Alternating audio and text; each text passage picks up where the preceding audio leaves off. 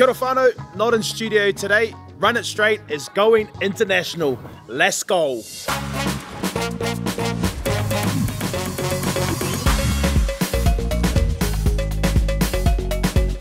Yes, kia ora whānau, we're back again, coming from all over the globe. Uh, we've got Willie hiding up in a secret location. I'm not going to say where it is, but I think he's in Whangarei. and then we've got Dills and Ephraim hiding in the islands of the beautiful place called Samoa. Welcome, brothers. Oh. Good to see you guys. Malo, malo. What Morena. Yeah, and, I, and I'm just chilling here in Bali somewhere, guys. So that's where I am. What a what a way to start our show. We're all over the all over the globe. We're here. Yo. Um, yeah, we apologise if the signal drops out here and there, but you know, Samoa Wi Fi isn't that great. It's What's up, my great. bro? Uh, great week. Great weekend of rugby league coming up, guys. Can't wait for this one. um, E, what do we got, brother? Sweet. I guess we'll just hop straight into the news, eh, as usual. So first up, we got um, the 2025 Vegas teams have been confirmed, uh, and those games will be the Raiders versus the Warriors and the Panthers versus the Sharks. How are those for the first set of games? Yeah, I guess for, for me, guys, um, exciting for the Warriors first and foremost. Um, you know, there's been a lot of uh, worst kept secrets, I think, in the NRL, and uh, this was one of them. Uh, that the teams have been coming up uh, all over the last month or so, and, and everyone's been wanting to know who it is. It's now confirmed. The Warriors are heading over to Vegas. Uh, Penrith, Raiders, and Sharks. Uh, you know, for me, I think if it's if it, the exciting match for me would be the Warriors versus the Penrith Panthers, um, and it's a reward for what the Warriors have been able to create over the last year and a half with the, the fan base and everyone that's been able to follow the, obviously the journey of the Warriors. It's a reward for, for them for doing what they've been able to do, and, and the NRL have looked after them. Yeah, I like the fact that they're taking four different teams across there and give experiences to some other clubs. We saw how big it, it was this year and how well it worked. And I think it can grow to another level. It's growing to another level already to where there's some conversations being had in the UK where some Super League teams want to take part in it. So whether that grows any leagues over the next coming months, we'll have to wait and see. But such was the success of this year's Vegas tournament and the, start of the season there. I think it's big, it's, huge for the Warriors, as Blair said, for the fan base. It's huge. I think we'll see, uh, I think with, with the Panthers and the Raiders and the Warriors in particular, with their big Pacific Island numbers that they've got, the Māori Pacific boys they've got, I think they'll draw a big crowd from the Americans to come out and support them. I think that's a, a big driving force behind having those teams. But yeah, if it can, if it kicks off and it goes the way it did this year, it's going to be huge again. What do you guys reckon of the reasoning for the Raiders being in? Is because they're playing at the uh, Oakland Raiders or whatever their new name is. Vegas Stadium. Raiders. Vegas Raiders. That's that's a pretty. To me, that sounds like a kind of dumb reason to just to have the Raiders. Yeah, well, I, I think um, yeah, it is a bit of a random reason, but I think that it's more for the game, you know. And I think, like like Willie said, I, you know, I most probably didn't think of that, Willie, when it comes to the Pacific uh, boys that we have in the competition and reaching that kind of an audience over there, especially when the NFL. Um, yeah, the, the Raiders, there is some Māori and Pacifica boys in there, um, but I, I just think, you know, it's great for the game. You know, they would have learnt some, uh, got their wrongs from last year right for this year, or for next year, and be able to create something going forward. So I think um, whatever mistakes they made last uh, early this year, they'll they'll correct and go again, and it'll be bigger and better, like Willie said. Yeah, I like it. I like the fact that they're trying to marry up the two Raiders teams. I know in the past uh, the Broncos have gone across. They did it years ago where they went to Denver. The Broncos Yeah. and Broncos together, and they built it. If the Canberra Raiders can get anything out of the Vegas Raiders, and they can learn something from them, and a relationship can be sparked where the money and the power of the NFL can influence a little old rugby league club, it's going to be beneficial to the game as a whole. Sweet as. Moving on, next up is uh, Ronald Griffiths uh, is the new coach for the NRLW Warriors coming in next season. So obviously he was the coach for the Knights in their two premiership wins. So that's pretty exciting. A premiership winning coach. Yeah, well, it's it's, it's exciting, E, because uh, the pathways are now trying to um, grow here in New Zealand. Uh, the the women's space is moving really quickly, and it's great to have someone of his reputation, his caliber, come from a, a, club that's been so strong over the last couple of years. Yes, he's had some really talented players through his, his team, and they've done so well with him. So, uh, but again, you, when you want to come into a competition like this NRLW, you want to come in with a bang, and there's no better way to come in with a, a coach that's done it all before and has uh, championship qualities. Uh, the Warriors are going to be very lucky and it's an opportunity to, to grow the women's space and pathways through New Zealand, as as well as obviously jumping on the back of the movement that's already been going in, at the men's space and also the pathways for the kids. Yeah, he's had success, great success with the Knights. Obviously, he knows and understands one the women's game and coaching women, which is very different.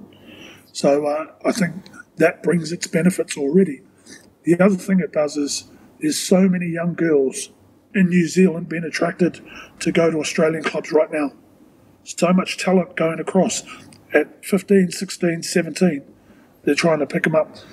To stop that, the Warriors needed to have someone with credentials like Griffiths and to have someone come in and say, We've got a coach that's going to, one, have a successful team, but two, make you better. So I think it's a it's a real big win for the Warriors signing of his caliber. What do you think? Is there much difference between the coaching over in Australia compared to the coaching here in NZ? I suppose you guys might not know too much about the NRLW. In the women's space? Yeah, in the women's space. But there's more teams that have been in the NRLW, so there's more coaches exposed to that hmm. level. And with yeah. the Warriors not having a team for a little while, we're relying on the Fox game. You know, yeah. part time, they're two days a week. So yeah, there will be a big, big difference to the talent that you're working with and able to spend time with. Nice. I, I think I also think Willie. I think they it's come as a full time role as well. So he's got some big responsibilities through the pathways as well. Uh, and like you said, I guess you're exposed to that high quality Australian way of coaching. Uh, yes, he's going to have to adapt to some of the, the Kiwi girls because they are obviously coached different. There's much going to be a lot more work put into it, especially through the pathway system. Um, again, if you're coming in strong with a good coach, you're going to have to come in strong with uh, some quite high quality players, and that could be a mix of um, you know rugby sevens girls too uh, and NRLW girls. So it'll be interesting to see how uh, it all goes. Um, be great to see some of these rugby girls jump over, but at the same time, um, you know, coming into this competition with a bang. Cool. Next up, Roosters have been busy. Uh, they're starting to get some of their business done. So first, Angus Crichton has re-signed after all those dramas with David Fifita. He's uh, signed a two-year extension, and then also Chad Townsend has signed a one-year contract for next season as well. How's he going to fit yeah. there? Yeah, great signing for uh, Angus Crichton to be able to say that his form since I think the news about coming to get Fifita has gone to another level. Uh, we've seen what he does in uh, the origin space and how he's been able to create uh, what he's been able to do there. Then also bringing that form back to the to the Roosters as well. I think um, you know what a great signing that is for the, this, the Sydney Roosters. Uh, quality player, strong carry off the ball, um, doing good things at, at Origin level. Hopefully, nothing good uh, next week when they play in the Origin side up Suncorp. Um, hopefully, has hopefully has a bad game there, but um, an awesome signing. I think he's been really uh, good since since the time of his mention that he could be going to rugby. Obviously, that's all fallen through. Uh, and now he's been able to focus on his rugby league, and he's got a reward for it. Town, Chad Townsend's a bit of a um, yeah, different one for me. I think um, again they're losing Luke Keary over to, to, to the Super League, and they bring in uh, an experienced player, which I like. Uh, the experience is mostly what they need to help and guide that that team around the park. Um, he's a quality player. He's done some good things for at the Cowboys. Has been able to lead them around the field, and I'm guessing they're looking for someone similar to him. I don't know if he actually gets a start in the team because I think they've got some quality halves down there already but I guess it's backup just in case. Um, yeah, it's it's one year contract. Um, I'm sure he'll be able to um, help that team and the Roosters team, especially with the way how they're going now, uh, head head towards the, the top end of the table, coming moving forward in the, in the years to come. Yeah, he's an important one, Angus Crichton. They chased Fifita and missed missed out on him. Tupouniua's gone to the Dogs now, so he'll step up And as Blairy said, once all that conversation started happening around Fifita and he was close to being out the door, the upturn in his form has been ridiculous. He's gone from struggling to get into the side and finding form to being probably the form back rower in the comp right now. So, yeah, he deserves his, his contract. Good timing to find some form when you're negotiating again. So, uh, yeah, I think he's a good one. He understands the system. They're losing some seniority, as Blairy said, and Keary, they're losing Jared Waerea-Hargreaves as well. So they need some of those players to be around for a little while. They tried to chase, or the rumour was they spoke to Shaun Johnson earlier in the season to try and try and get him in. They've gone for another experienced older halfback.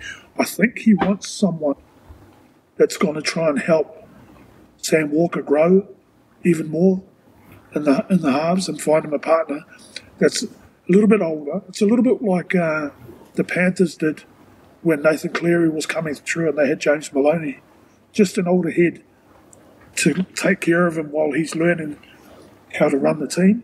So mm-hmm. I, th- I, think he's a good he's a good pickup just for the year. I think uh, yeah. he would have had a conversation with Trent Robinson about what Robbo's after out of him as far as being that leader and just guide the team around. So um, I, I think that'll be a good move if that's the case. And going on on top of that, uh, there's obviously as well the news of Carter Gordon and Mark Nawaqanitawase both have been released from rugby union. So they're now free to join the team. Uh, Nawaqanitawase, he's not going to be over with the Roosters until after the Olympics because he's playing for the Australian Sevens team. But Carter Gordon, he is now training with the Titans and making his way up into their top 30, hopefully for him. Yeah, there was a there was a bit of stuff in the, the media about these these two boys coming back, especially the Carter Gordon one being able to uh, start training now and then and maybe an opportunity to you know if they need chuck them in there and, and get in some game time. Um, but it's again we're we're creating opportunities for other athletes to be able to come over to the game. Um, both, I think, quality athletes, both represent at the highest level when it comes to the, the Australian team, and um, it's great. I think you know the Roosters are going to he's going to add some value to the Roosters, and I also think Carter Gordon's going to add value to the Gold Coast Titans. So exciting news for the Titans, exciting news for these rugby union players because now they get an opportunity to uh, express themselves and, and back themselves in a game that they must be a little bit unfamiliar with yeah, I like the fact that they're uh, they're branching out and they're looking further afield for talent. Um, there's no doubt that they've got some talent that fits our game in rugby sevens, and hopefully Carter Gordon proves that. You know, went from rugby to the Gold Coast Titans. There's a lot to learn. He'll uh, just to be around training and being around some of the athletes in the side and picking up what he can from Des Hasler. I think he'll have, he's got a lot to soak in and a lot to learn before they chuck him in. And you know, there'll be some some hiccups along the way. He, that's as long as they're happy to let him learn that way, then good on him. Uh, I'm sure they'll both be great acquisitions for their sides. The crazy thing about Nanga Tawasi is, and they said it when they did his release, he could win a gold medal and then come back and win a mm. An NRL same year and win a ring. So, yeah, that, that'd be crazy if he came back and was able to do that. But obviously, he's got some talent, he's got some speed. They're losing um, Joey Manu and Joseph Suaalii, so there may be a chance for him to slip into the outside backs next year. Yeah, hard. Uh, next up, Daniel Saifiti is leaving the Knights, apparently. Um, so they've told him he can explore his options with other clubs. And because they're on a tight budget, it seems. It's coming out that the Knights just don't have the money to afford guys like him because he's on 800,000 a year. Uh, the St. George Dragons have reportedly become the favourite to sign him. Do you reckon he'd fit over there?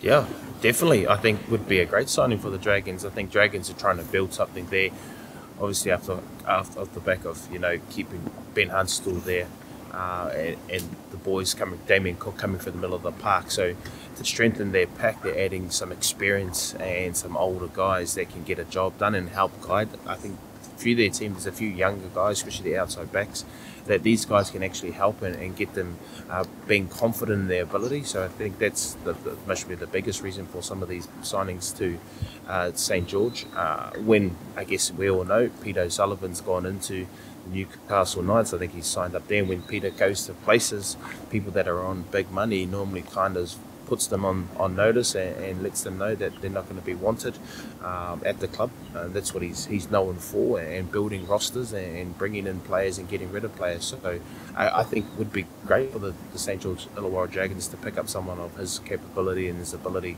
Uh, would add some leadership qualities to that pack for sure.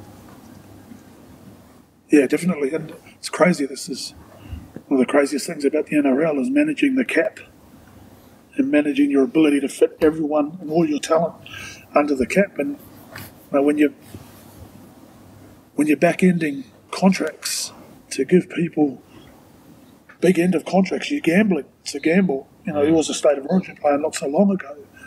Is he living up to that level? Not quite right now. I think Leo Thompson's probably their best front row that they've got at this moment in time.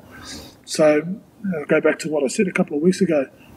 Clubs want value for money and they're not quite getting that. So they've got to move him on. And Hetherington sounds like he's going to be moving on as well. They've given him uh, permission to talk and, and look for a job elsewhere. So yeah, they're trying to free some space up. The knock-on effect of this, you're talking about St George, is some of those clubs that we're talking to Stefano Utoikamanu, they're shifting their attention now to Saifiti. So mm. do we see Stefano stay at the Tigers because of this happening. The knock-on effect is uh, ridiculous. Oh, this is rugby league, eh, Willie? It's it's a funny game. It's like a jigsaw puzzle. Uh, you know, one one player moves here, the other moves around. If you don't take up, uh, if you don't say yes to somewhere, another player will take your spot, and the game moves really quickly, and it's um, it, it's ever evolving in everything you do, especially in negotiations. I even think they said Brailey might be up for they, they want to release him too because he's on big money, and they got Phoenix Crossland there that who who last year I thought was a standout for those guys, and I think he was nearly close to playing for the New Zealand team until he got a, shoulder injury. So um, there's some quality players through their through their club, and some players are on big money. This is how the game works, and they just get a little bit of a tap on the shoulder. And um, again, challenging the salary, uh, managing the, the, salary cap is the hardest thing to do. And they bring someone like Peter Sullivan in, who pretty much just puts a broom through there and just puts people on notice without about- without without putting his uh, name on out in the public so everyone knows it's him. uh, next up is Brad Arthur. He has signed on to coach for Leeds. Uh, it's only a 14 week contract though, because apparently well, he wants to come back. That's the story I'm hearing, and that's what people are putting out in the press. But Leeds came out in a press conference yesterday and said they haven't made a decision yet. So I'm not sure where the story is. But yeah, I, I was I read the story as well. I read that story until I watched Leeds' press conference and their their football manager, I think his title is Ian Blease, um, unusually sat in the post match press conference with the coach to give his point of view on and give the update on where they are with their coaching appointment. Um, said a decision will be made next week. So yeah, I, I heard a couple of days ago that Brad Arthur had the job till the end of the season, taking over from Chev Walker, who's the interim at the moment. But I'd, it'd be I'd, I'd find it very strange if that's the case that they're only getting him to the end of the year and not further on. You get someone of his talent and his experience at Leeds, I'd be tying him down to three years. The rumour is, if, the, if it is the case that they're doing what you're talking about, and it's true that he's there till the end of the year. I think they're looking at the Salford coach, Paul Rowley, looking at taking him on a, as he's been the word around town for a little while since it all went. The, football manager that I'm talking about, Ian Blease, he was the chief exec at Salford, where Paul Rowley is. So people are trying to marry things. Their relationship is going to get rolls over. But yeah, I, I, if, Brad Arthur's there you're talking to him and you sign him up for 14 weeks, you might as well go for three years. Mm. Well, that's that's the thing. Eh? Is I don't think anyone's coming over to the UK for 14 weeks and then going back to coming back to Australia. So he would be. I think it'd be enormous, really, to go over to the UK. I think from his record and what he's been able to do, the, the kind of coach he is, um, I think he would be great at, at Leeds, and if he gets an opportunity over there. But like you said, 14 weeks, hopefully turns into three years. Well, the 14 weeks from Arthur's perspective is most likely because everyone's reporting that he wants to be the coach of the 18th franchise when it comes in. Apparently, it's meant to be announced in coming weeks, and it's likely going to be the Perth team.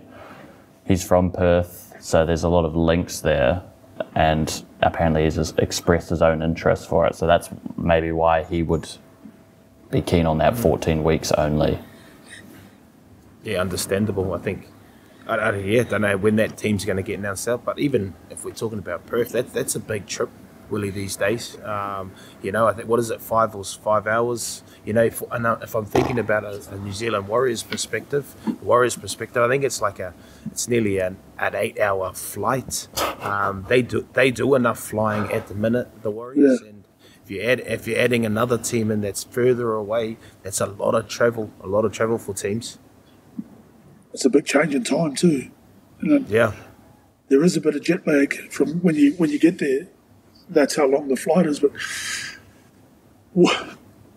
I get it then if that's the case. But when are they looking yeah. at coming in? You know, it won't be next year.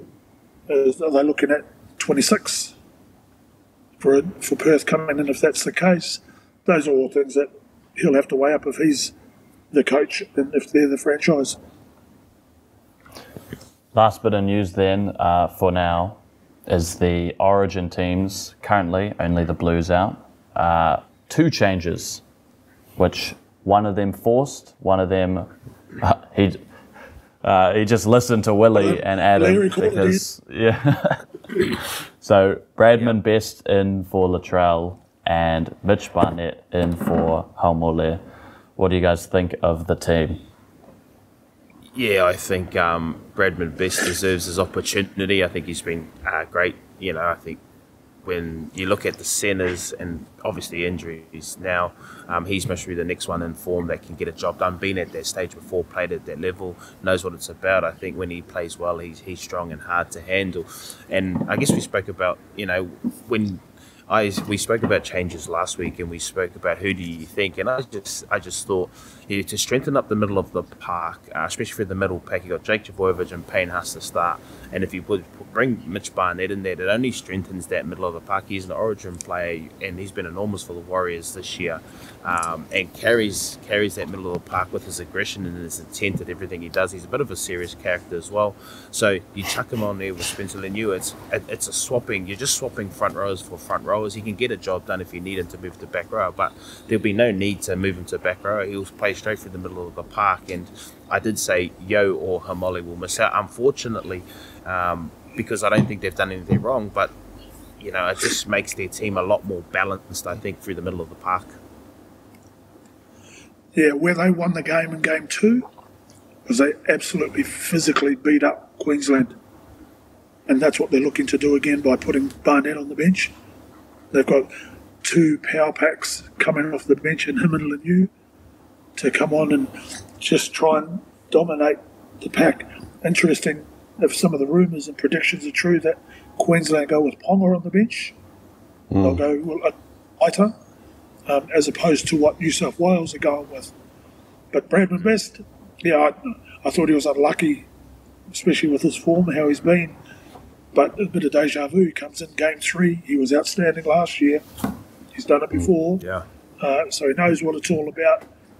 They lose Latrell, which is a big, big loss. But he's just as physical, probably not as athletic, and doesn't have the footballing ability that Latrell has.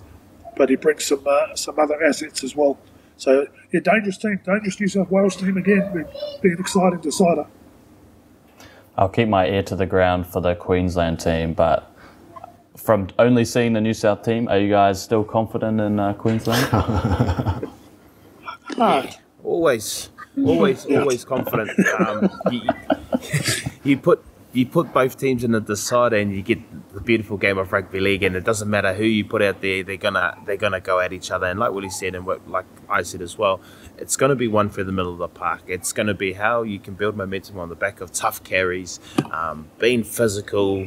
Uh, being hard to handle, intimidating the opposition with your carries and defensively, and then trying to build pressure. And um, I think both teams are going to have a good crack at this. Uh, it'll be a great, great spectacle. You know, a sold out Suncorp Stadium. Uh, everyone's going to be booing New South Wales, and so am I. Boo to New South Wales.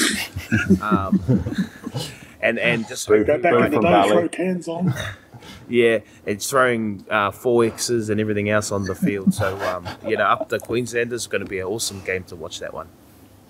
Um, you guys have talked about Ponga potentially on the bench with all the news that's happened throughout the week, can you anticipate any other changes potentially coming through before we get this list out? I think, yeah, well, we'll just uh, I'll just go with the rumours. Yeah. Cobbo and uh, Gagai back on the side. They've lost mm. um, Oates and Murray Taulagi through injury. So I, what they really need, Queensland, is some big outside backs that are going to carry from the backfield and get them out and find some field position. They, they weren't able to do that. And if Reece Walsh is the fullback, then they need four big centres and wingers yep. to, to, do the job, get them on the front foot. They, I think uh, Dan Gagai definitely does that. Uh, although he's been playing centre, he's been carrying so strong for Newcastle. And that's what Cobbo does. He just chews up meters. So yeah, if those two are back in, I think they'll be great inclusions. Yeah, those two will help definitely. And like you said, Willie, the, the back three, even five are, are key to how the game goes these days. And especially at origin level, you, you the kicking and the position and the field position is going to be key. You've seen what Mitch Moses did to the uh, Queenslanders last time they played, put them deep in their try line, made them come off the line, and they just ran out of puff in the end. Controlled the game with this kicking game. So you're going to have to try and bring have some bigger bodies. Your forwards are going to be working really hard. They'll front load all their energy defensively, and then your big outside backs are going to have to carry hard to bring the ball back. So um, yeah, those big boys, you know, Gagai will be in there. I love what he's been able to do. He's never done a, a thing wrong in Origin level, and then Cobbo will come in and be strong as well. So, yeah, be a be a massive contest for the outside backs for sure. Sweet as we'll get back onto the team when it gets released uh, and just cover it again. But for now, let's move into the NRL games of the weekend. Starting off with the Rabbitohs versus the Eels, and I mean the Rabbitohs are just really back at this point, fifth straight win. They're going to be charging now the Knights of last season style all the way to the finals. You'd think uh, and Parramatta just in the trenches at this point. Yeah, d- definitely. Um, I think kind of similar to, I guess, the Newcastle run with the way that they've been able to bounce back from, I guess, the ups and downs of their club and losing coaches. Uh, the biggest thing we've always spoken about on the show with their their change of their attitude and where they've gone. Koloamatangi's been enormous for the middle of the park, a massive masterstroke of a shift of moving him to the middle of the park. And then obviously we spoke about how Jack Wighton needed to be closer to the ball and playing in the halves. He's definitely helped uh, Cody Walker, Latrell Mitchell, and also the middle forwards be able to play a, a cool, uh, a strong, solid style of football. But the thing for me, it's the defensive attitude that's changed. Uh, we watched games earlier on in the year where you know there was a try that they kick long, and no one even there was eleven or eight players never even got back on site to even compete. But they're competing every single weekend. Uh, every time they put on their jersey, they've been able to compete. The last with the, how they've been going in the season, they've competed for everything. Um, so they're a quality side, and they'll be a tough side if they keep building momentum. Obviously now Latrell, don't know how long Latrell's going to be out there. Maybe it causes some some effect to the team because he obviously is a leader. He brings brings confidence to the players around him and what he can create on the field. He's he's athletic and he's you know he's aggressive and I think everyone loves playing with him. So he, they build momentum on the back of some of his carries as well. And again, they're, they're a they're a tough team, the South Sydney Rabbitohs, and they're slowly sneaking in there. I think not, not too much. They're talking about them, but they're not because I guess they're down outside the eight. But man, I'd be wary of those guys. They can do anything on their day. And again, like you said, Ephraim, the bloody um, Eels sitting in the trenches trying to find themselves out of there.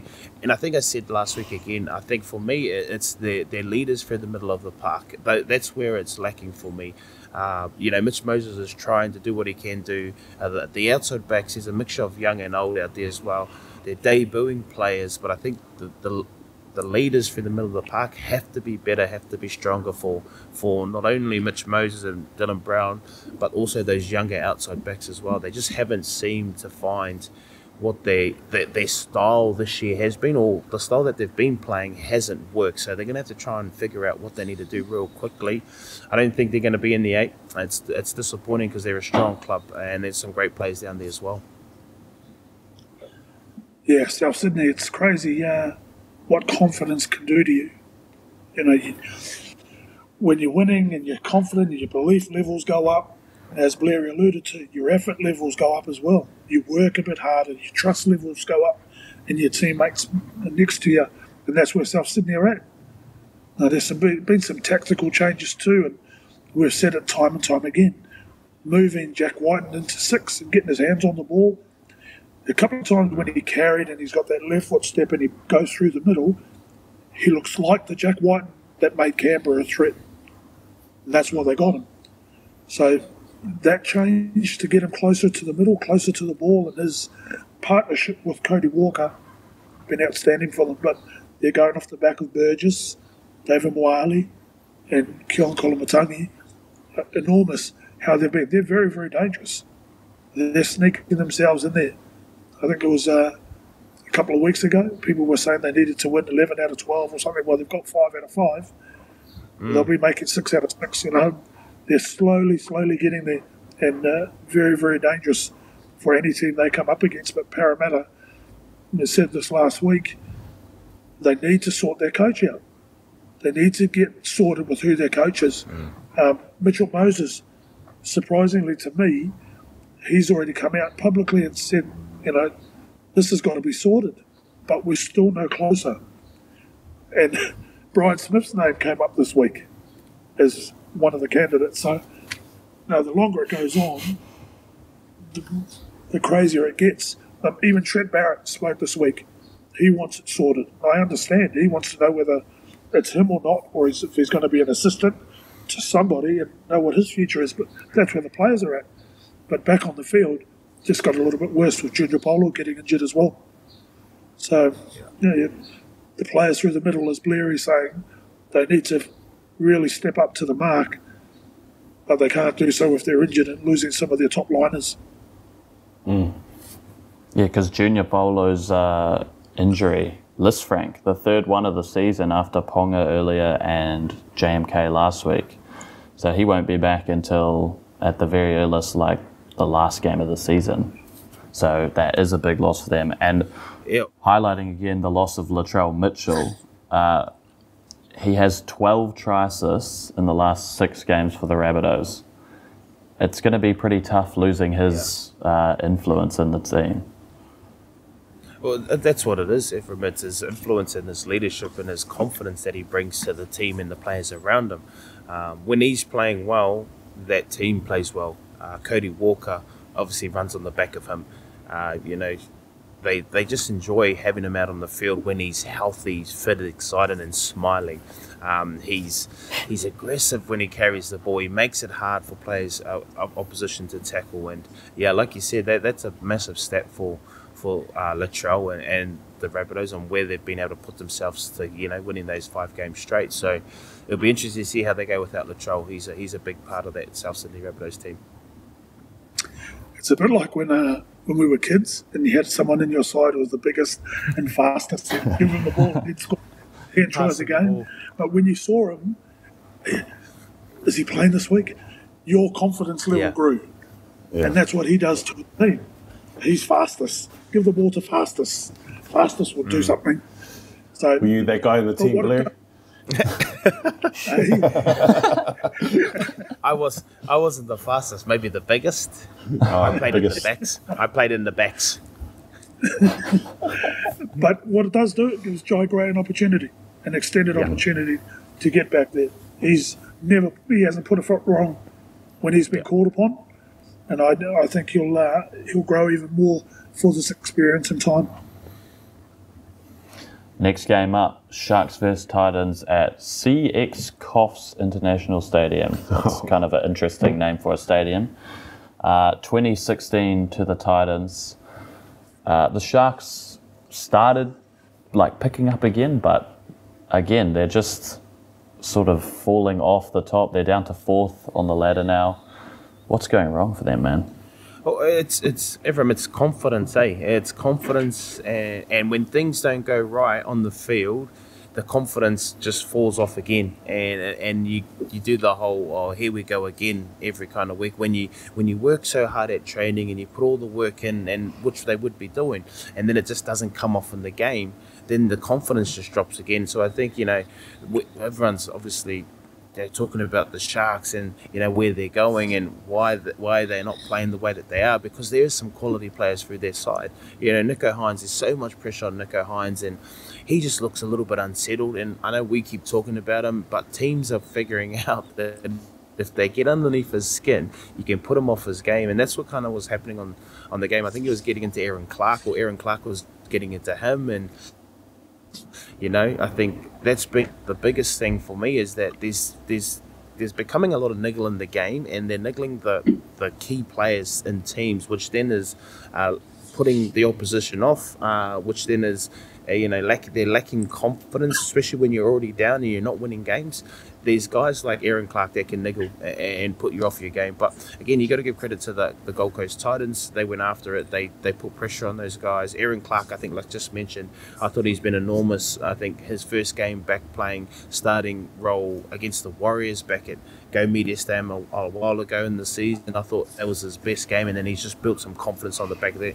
Kieran Foran is obviously the leader to that team, and Keano Kini, we keep mentioning what he does man, um, that many high tackles on that kid just because he's ducking and, and weaving underneath players and he's got sharp feet.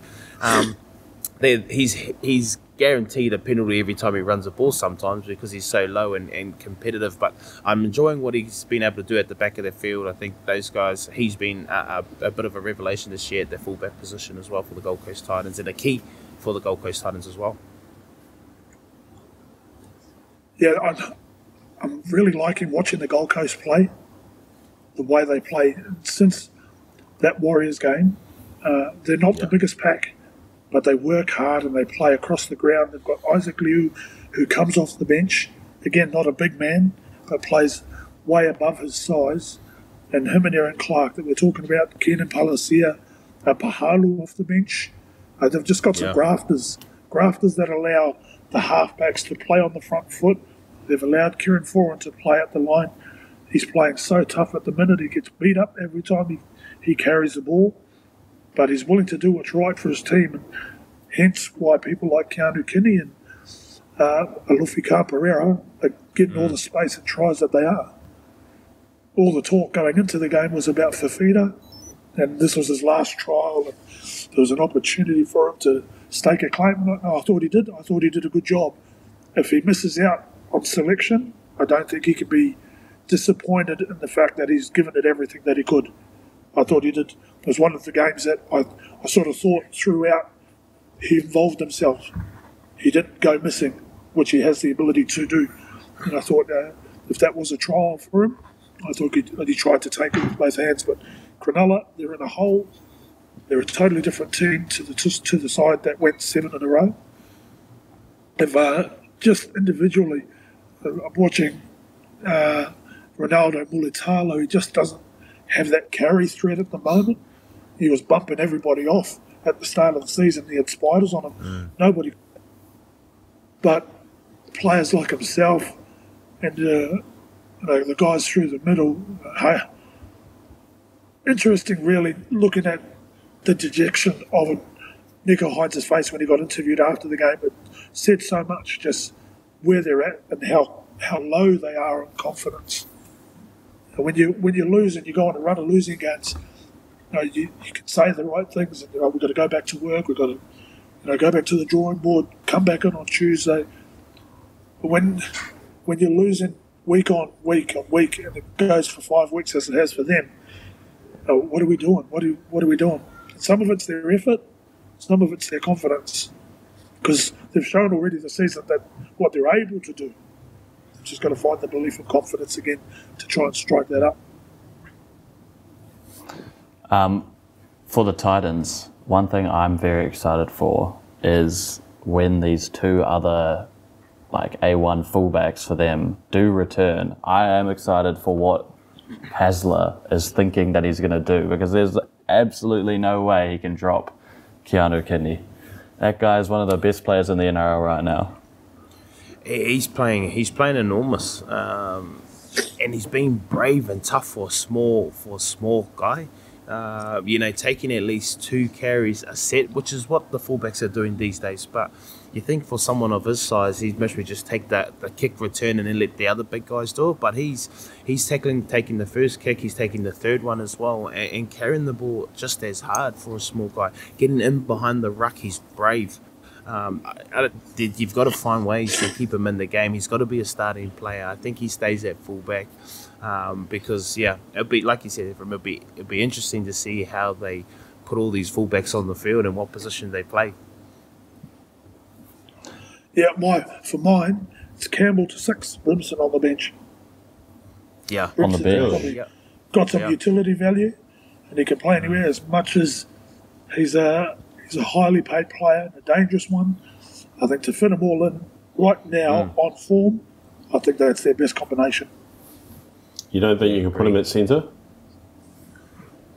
Back at where he was at the start of the season? Yeah, Brimson. You could do, you could do, but a bit like uh, we're talking about Jack Wighton, you're not involving him as much. You know, I'd, I'd take him off the bench and put him in somewhere close to the ball. He could be at 14. Yeah. Imagine him at coming on, supporting around and play a bit of ball play, running at tired middles. Yeah, definitely. I, I think so. t- I think so too. Willie chuck him on can play a, a, a thir- thirteen role, a thirteen role off the bench, and um, you know ball play for the middle and play some shape off the back of him, and much really more of a running thirteen role too. To be honest, because he's good with his feet and he's sharp. So, yeah, I think definitely come off the bench. Keano stays at the back. Campbell, that's that's great. I think that's we might be able to coach the Titans one day, Willie. Is that a thing now? Desi Hasler. Like having smaller 13s, that seems to be a theme of the modern NRL. Is that a thing? The game is that fast. a recent thing? The players We're are talking about Yeah, they. Yeah. hello? Oh yes, that, Smith. I thought someone was going to Smile. say. No, yes, yes. No, I, I think this is. perils I of think this Zoom. is. I, Yeah, I think, I this is think, the perils of delay. yeah. I think I think that's where the game's going. Uh, you know, with these smaller these smaller halves, these smaller fullbacks, but these players running around the middle of the park. I think, you know, Connor Watson's a prime example is his utility value. I think what, one weekend he was playing in the middle, then moved out to the centre position and still killed it out then. I think that's similar to what AJ Brimson can bring. I think he's kind of a similar player to Connor Watson in the way that they carry the ball around the middle of the park, but also challenge, you know, the opposition every time they run. So the game's moving that way, and I think that's where he kind of sits in. I think. Next up game, uh, Broncos versus Yeah, Rick Panthers. Off the I think it's Willie. I think the Wi-Fi in Whangarei eh? no, sorry. is a little bit Where'd off. you go?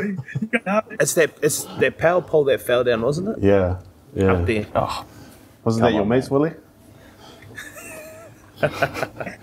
We're doing we're doing so well, guys. nah, it's just our well. island's infrastructure in Samoa and in Bali, just much better Yeah. than Yeah. in New Zealand. Yeah. Ironic. Yeah. Uh, what were you going next to say, game. Willie?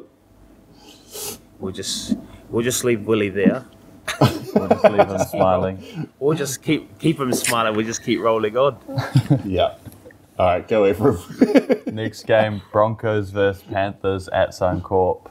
14 to 6 to the Panthers. It was a bit of a slugfest, you know, they were putting their back into the game really. Reece Walsh looked good on his first game for the Broncos since uh, round 12, I believe it was.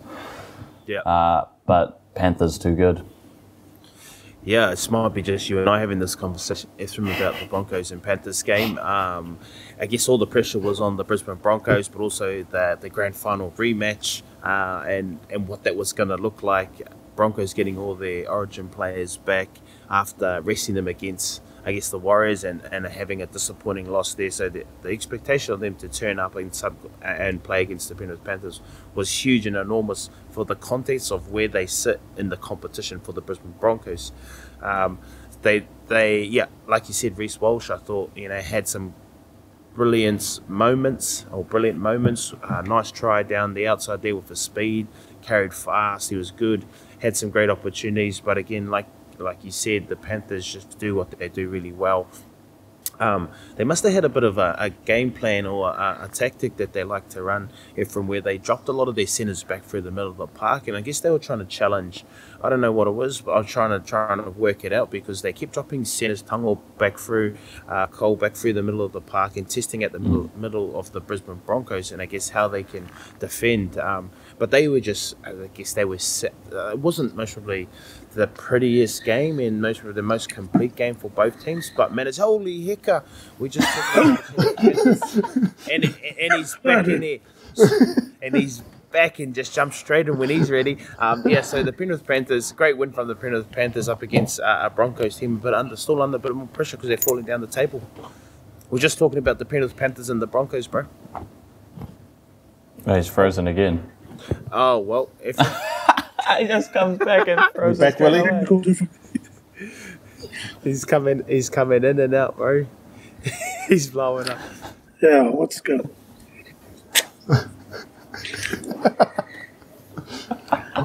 good, the good old internet. Maybe maybe we don't shout out where you are. You know, Oh, no. hotel Wi-Fi.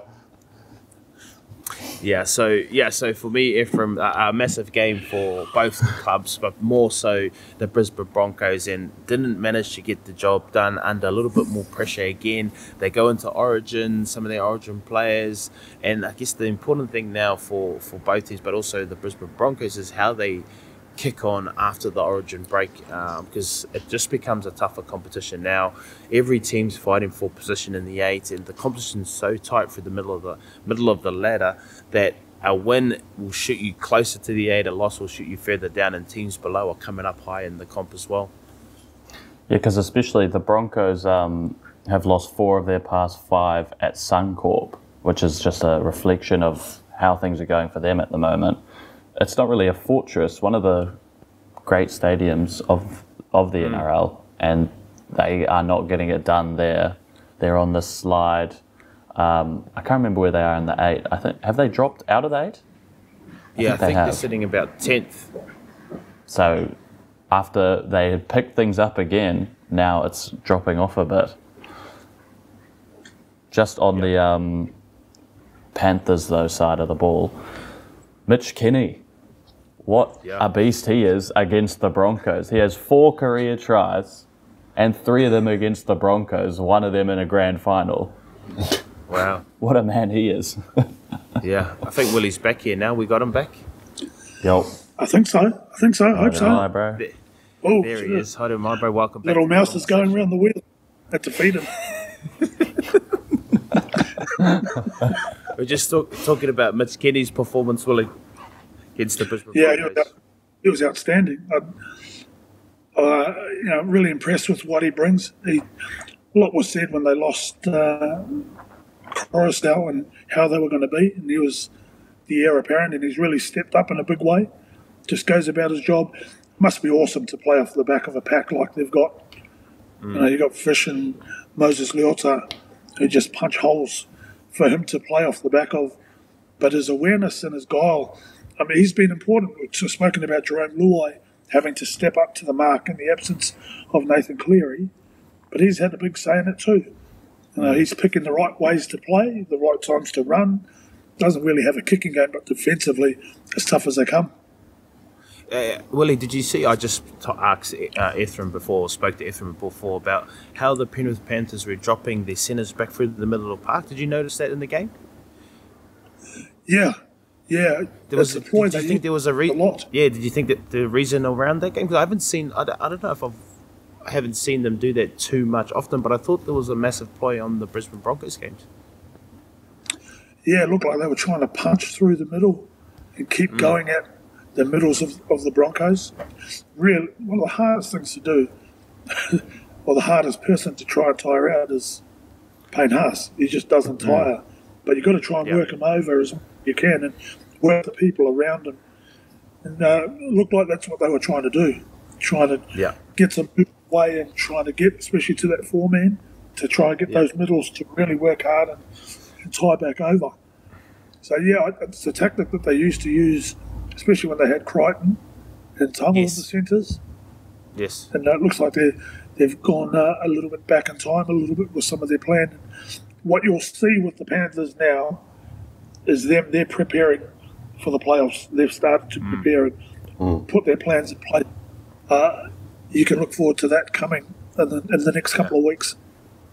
Well, uh, well, understanding that the the game is won through the middle of the park, so the more fatigue you can put into those middle forwards, the harder it is for them to make decisions under fatigue, whether they're moving laterally or being effective with their contact. Um, you're putting smaller guys with, with sharper feet around them, getting one-on-one tackles, being loose in contact, and then being able to create the momentum off the back of that. A la Mitch Kenny doing his thing, and then Jarome Luai getting the ball wide on, on a long left pass, and then coming off his left foot and stepping back through the middle again. So I think, like you said, they're, they're prepping for what's to come um, and understanding that this is where the game is won and lost through the middle of a park.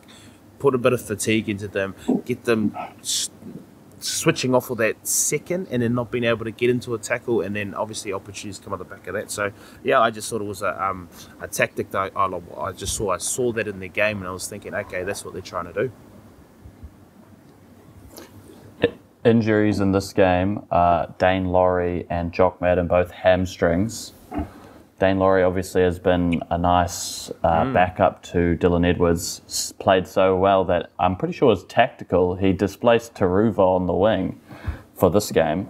Uh, and then Jock Madden obviously has been filling in for Adam Reynolds. Both of them now out. Do those are those big impact injuries to those teams? Yeah, I think uh, definitely the Broncos, Jock Madden. Um, they, I don't know when Adam Reynolds is back in the park, but he's been filling that space of Adam Reynolds, and they're really missing Adam Reynolds in his way that he can control games, his leadership, and what he brings to the team and the confidence. So then you lose another half in, in, in the Broncos, and you're looking for much more another younger player to come in and try and fill this space.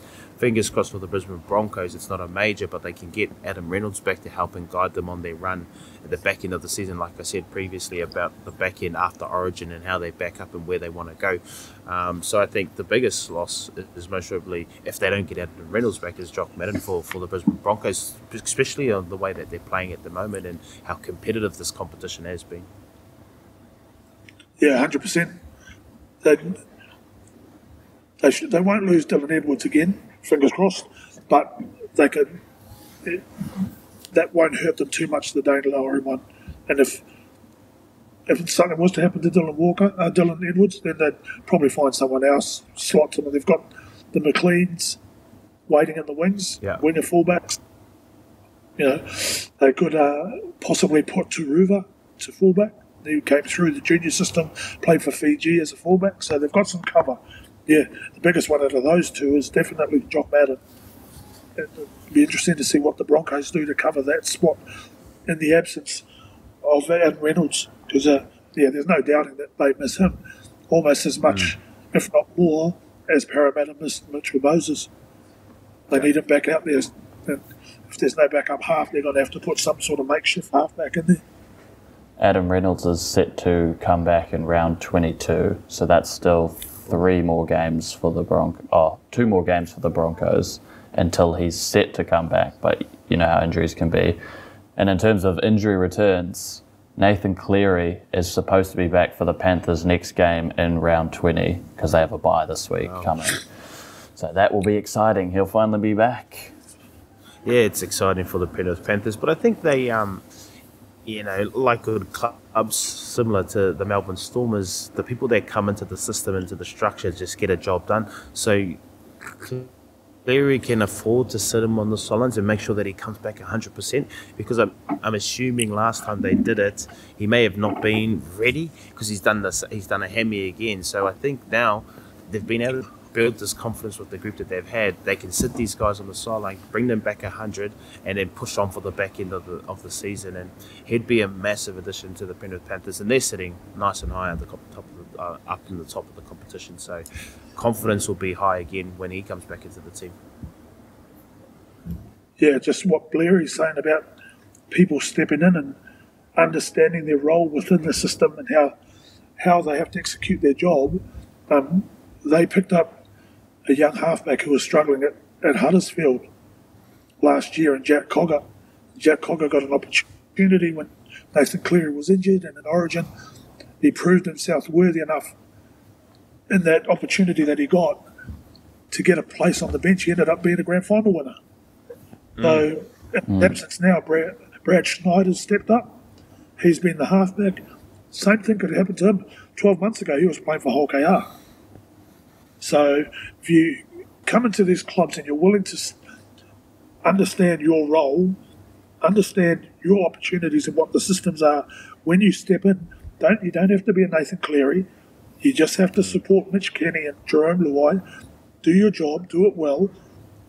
Give us some trust that we'll keep you there. If they make the grand final, Brad Schneider might be another Jack Cogger. Mm. Mm. Awesome. All right, we'll stop teasing the people. We'll finally move on to the game that, of course, all of our fans want to hear about. Bulldogs versus the Warriors at Accor Stadium. 13 12 to the Bulldogs off the back of Matt Burton for the second week in a row. Drop goal off the post and in. A lot to talk about in this game, so I'll let you guys take it away. Yeah, solid game. Um, I thought it was Great game. you know high high intensity um, quality was, you know, first class. So I thought, you know, both teams were competitive. They went at each other. It was a war of attrition. Um, you know, the, the Warriors will be disappointed in this this game. Um, I thought they were good enough, even though they lost half of their outside, all their outside backs. Um, you know, their two wingers were gone, and I thought they started the game with intent. I thought, you know, if I we I, we go back to the Gold Coast Titans game, they turned up. It just didn't look good. I thought on the back of their Gold Coast Titans game, they needed to turn up the Broncos with an attitude to go after the Broncos. I didn't think they got there as well. But this game, I thought they turned up from the get go and defensively were strong from from the start. The outside backs carried hard. Off the back of Dallin and Marcelo and Chance, created momentum and got down there and scored some points. Uh, but again, with what the Canterbury Bulldogs have been able to do this year is that they've just stayed in the fight. They're they're working hard together as a group. Like obviously they scored two tries, so defense for the Warriors were pretty good. They scored two tries off kicks. Uh, they'll be disappointed in, but the Warriors will understand that they weren't. They didn't break their line through them. The only time they looked likely was when Josh Curran had a nice little short ball, nearly got over the line, but a, a try-saving tackle from uh, Chance to stop him short of the line. But other than that, I thought it was a quality game. Both teams uh, you know, one's one's going to be disappointed, but the other ones are really happy with you know t- coming away with the one point. Had opportunities to win their game. The Warriors uh, with the ball and in Golden Point, I thought there was an opportunity there when uh, he got the stole the ball back, um, stole the ball back from dummy half. Uh, and they dived on the ball when the Penrith, uh, when the Bulldogs guys weren't looking oh. around and not playing what's in front. Freddie Lussick, Fred, Freddie Lussick dives in, gets the ball, and I think there was, I think at that time it was eight minutes twenty three to go, and I thought that there's an opportunity right now to hit a one point.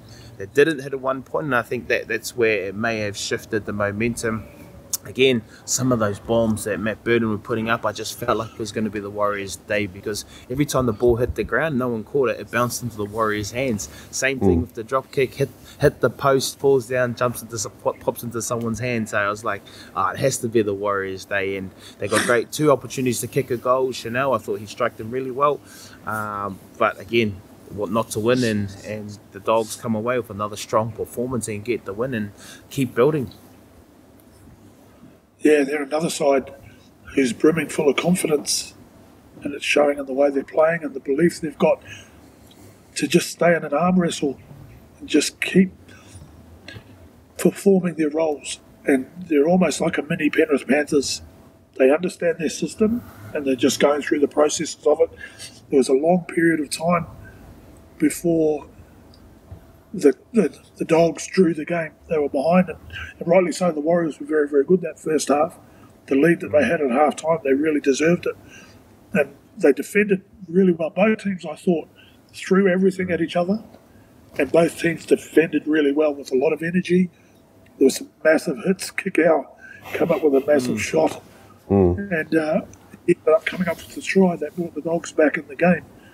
So, yeah, they both had opportunities. I thought Chanel had the better opportunities to get the drop goals. They set it up. They had a bit more time, but Reed Mahoney came out and just got enough on the ball and was charged down to deflect it, push it away. The seven tackle set, they go down, and the man with the big left left foot, the biggest left foot in, the NRL, Matt Burton, just does it again.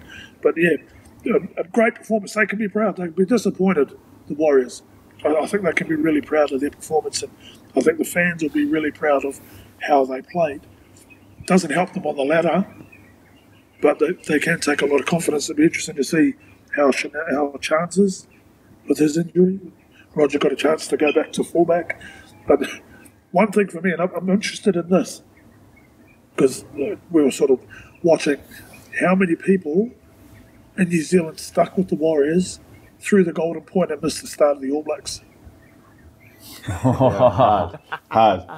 You know, that was the Razors' first game, the All Blacks' first game, but everyone was on the edge of their seat where I was watching. Yeah.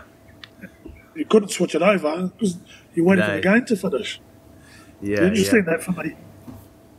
Yeah, there was so many. Um, I think there's a couple of controversial moments as well that the Warriors will be disappointed with. But at the same time, on the flip side, the, the Dogs fans would say, "Oh, well, you had your opportunities to win the game anyway." And again, you don't want to leave it down to these referees' decisions and. and whether it's a right or wrong decision, um, you don't want to leave it down. It shouldn't come down to those things, but sometimes it does. And Warriors fans will be disappointed with some of the calls that got let go. I think obviously the hit on Te Maire Martin, um, that that was a, a moment there that they could have given a penalty, and they should have, to be honest. Um, it was late, it was high. I think Jamin Seven has, I think he broke his jaw. I think he's broken his jaw. So the contact, the contact was high, um, and it was late. But again, on the flip side, you'd say, well, you had your opportunities to win these ga- this game. You should be able to ice those moments. And also, I think you know the charge down on a charge down on Chanel from um, Reed. I just thought um, he was he wasn't square at marker, but that's been real picky. That's us us. That's me being a Warriors fan and being real picky around these little moments in the game. But at the same time, they should have been better. Highlight for me, boys. Highlight for me. Leka Halasima. Oh, This, this kid, mate. This this this kid this kid can play rugby league. He's he's naturally gifted, naturally gifted, and uh, you know I caught, I was at obviously with working with Sky and we are doing the game, and I um, was lucky enough to be able to coach Leka at SG ball level, and he's only just turned eighteen. Um, he played five games for five games for SG ball, and pretty much they said nah, he's got to go up a grade, which is all good because I guess when you talk about pathways, you're creating opportunities for these young kids, and if he's good enough to play at 17 New South Wales Cup, which I think he ended up playing 16 games in New South Wales Cup and, is, and being a 17 year old and carving up in there as well. So to get an opportunity, he's been on a bit of a roller coaster, bro. He's young. He's young. You know what I mean? The, he's turned up. He's mostly turned up to training late sometimes because he's you know forgot something at home and just called in and said I'm sick. Where you got to come in at NRL level and see the doctor. You know what I mean?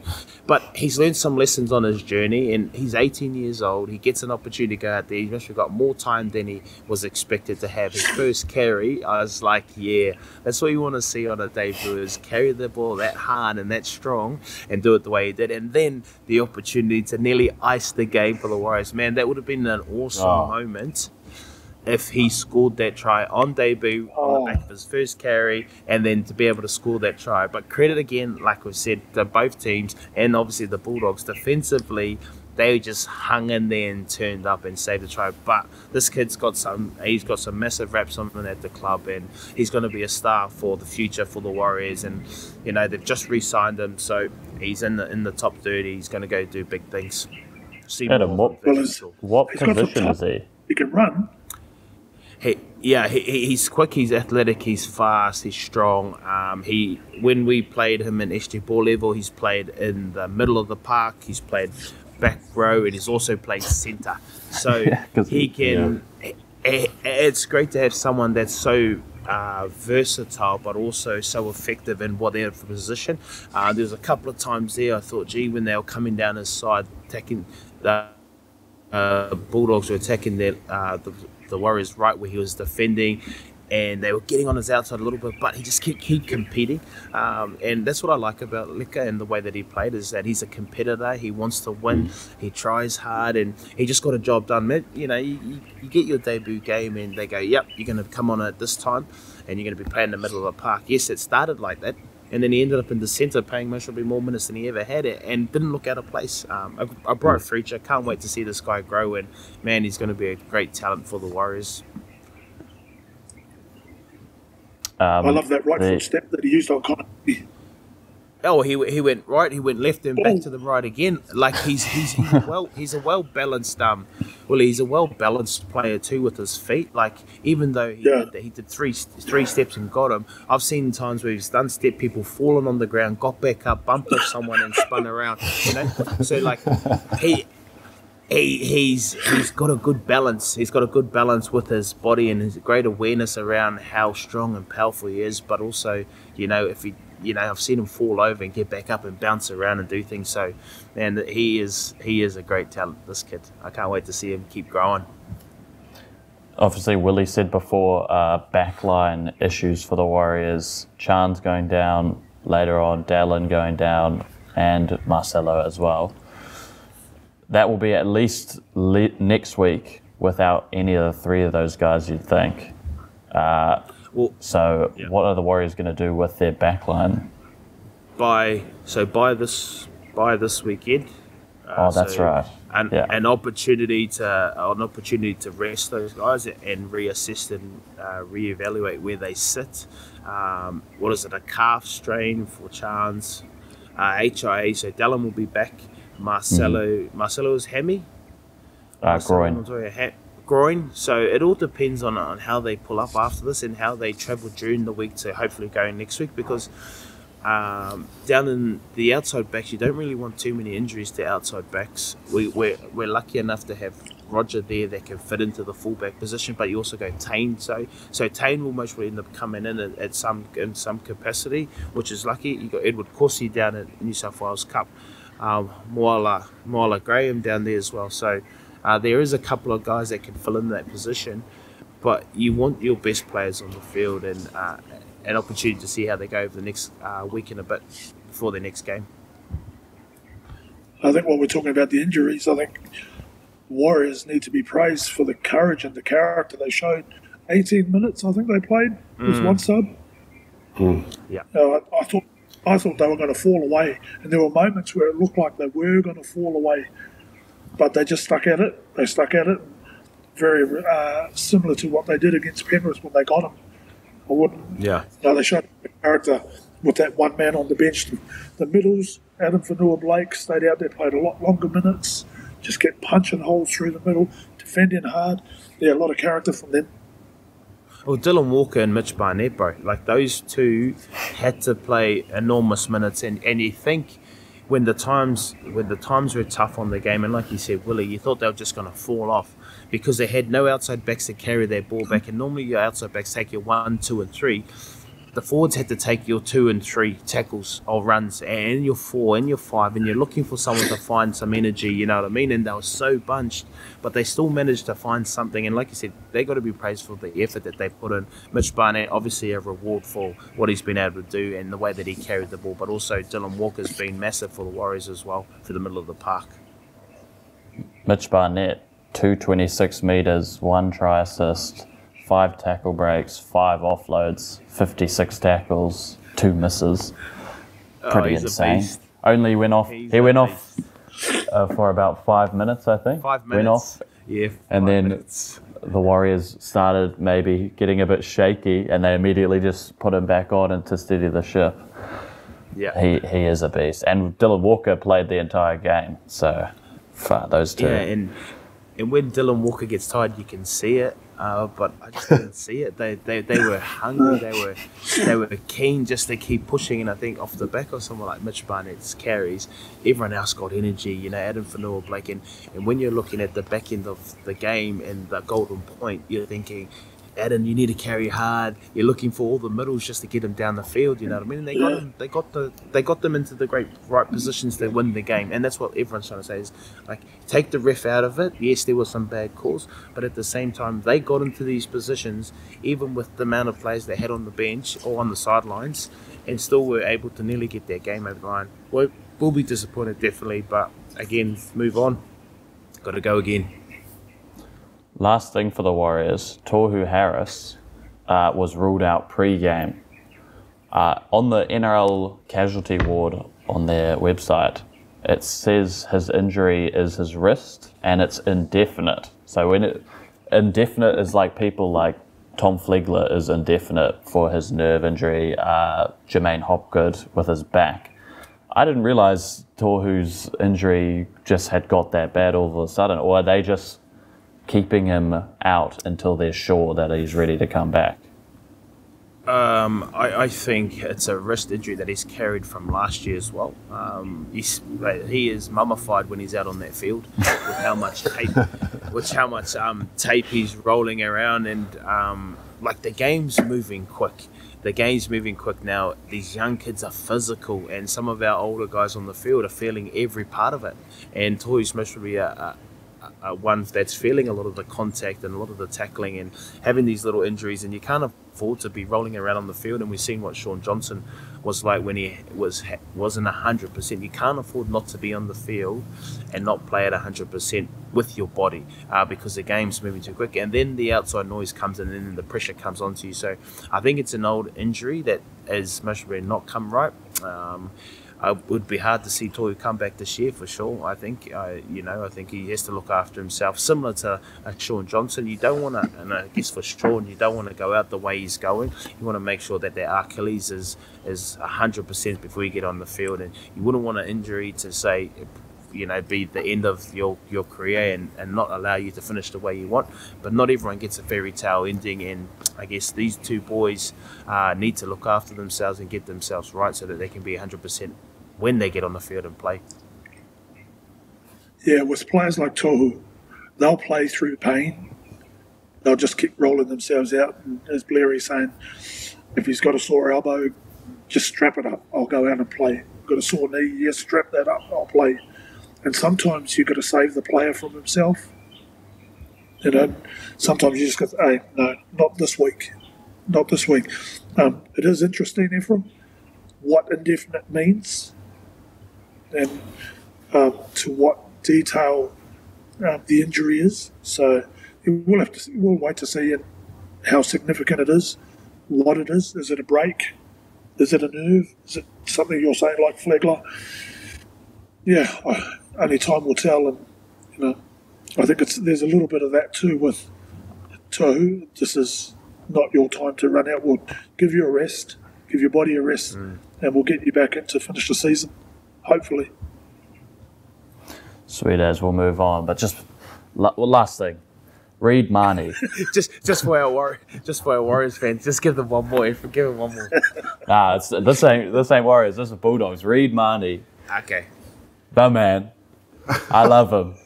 Grub and hard worker. He made seventy tackles.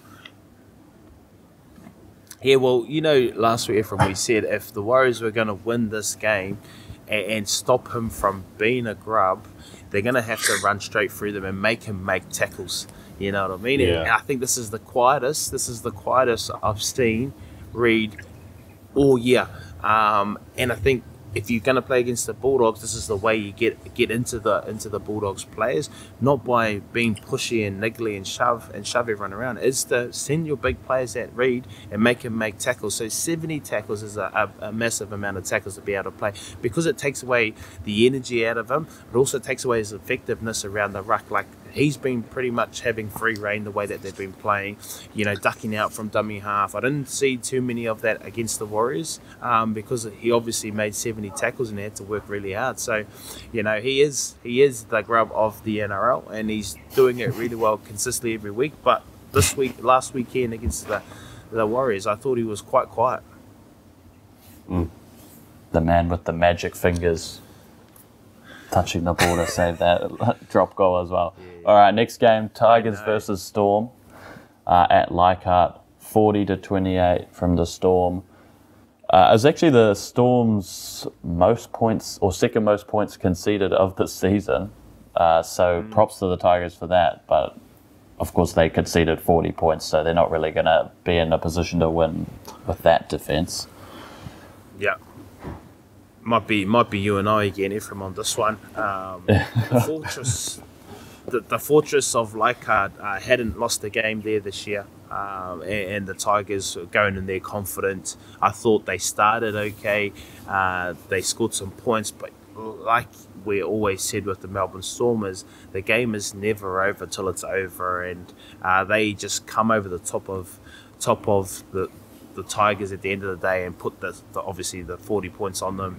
Um, credit to, like you said, to the, the Tigers. They worked hard. They played their shape. He's back again.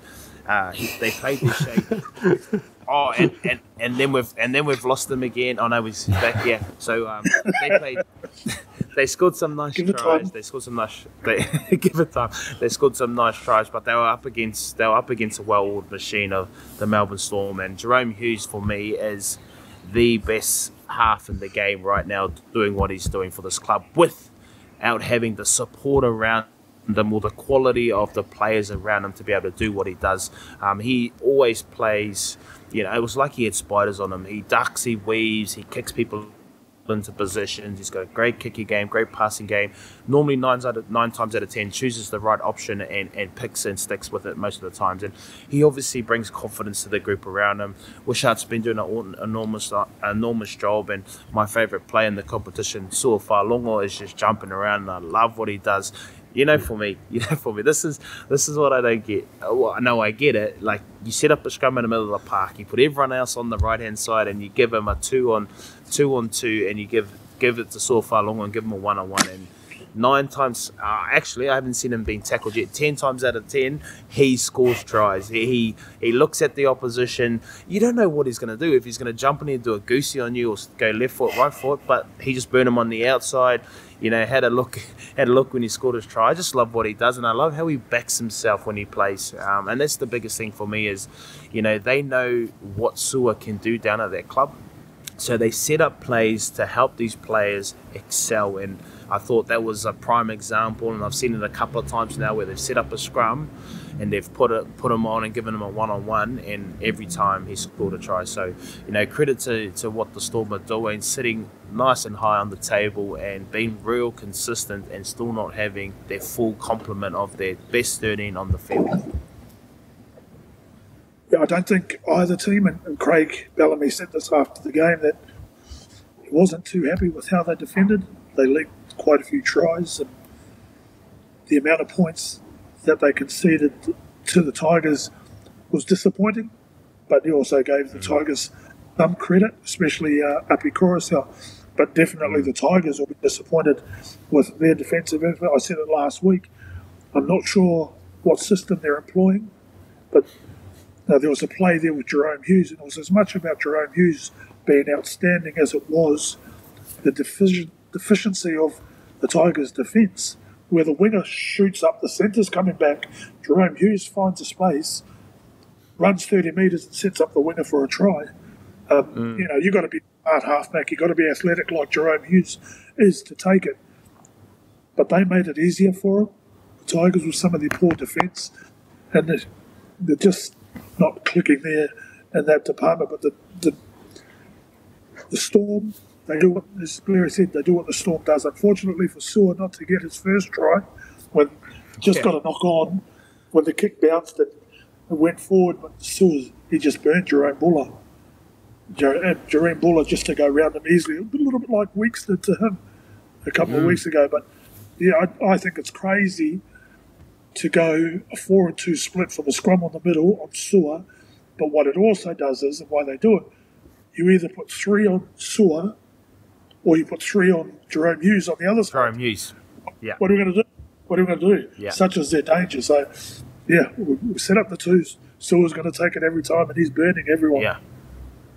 You, you have to. Like, that's just. You're, you're playing to the strengths of your team, but like you said, Willie, is you've got Jahrome Hughes on one side and they've got shape, and then you've just got uh, uh, Sua just standing there, and you're going to give him the ball. Like, there's no way. Even if, at, at worst, it's a legs tackle, and we you still make 12, 13 meters. You know what I mean? Like, it's not. You're mostly not setting it up as a scoring play. You're setting it up for Sua just to make some meters, but he can turn uh, meters uh, uh, play into scoring points, and that's what he does.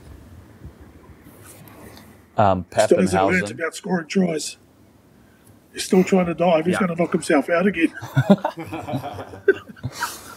Uh, Love it, love Papenhuyzen it. again had the reduced carry meters, which we talked about a couple of weeks ago when he first came back from his injury. Had a rest last week. Comes back, 84 meters run, but he was not. Uh, his potency was not reduced by that. Three line breaks, a try assist, seven tackle breaks.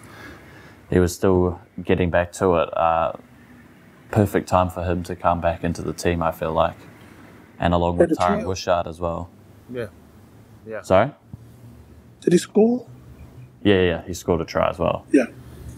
Yeah, he's, And then- he's slowly. I th- he's. Uh, I think he's slowly building into his game. You know what I mean? Like he's come back from that many injuries the last two years, and it's going to come with confidence. But what he does is when he does and does put himself and make himself involved in the game, he is efficient with everything he does. He's hard to handle. He's quick. He's fast. He puts himself in the picture. He still defends well uh, at the back of the park. He's important around, I guess, defensive reads and also numbers for the for the Melbourne Storm.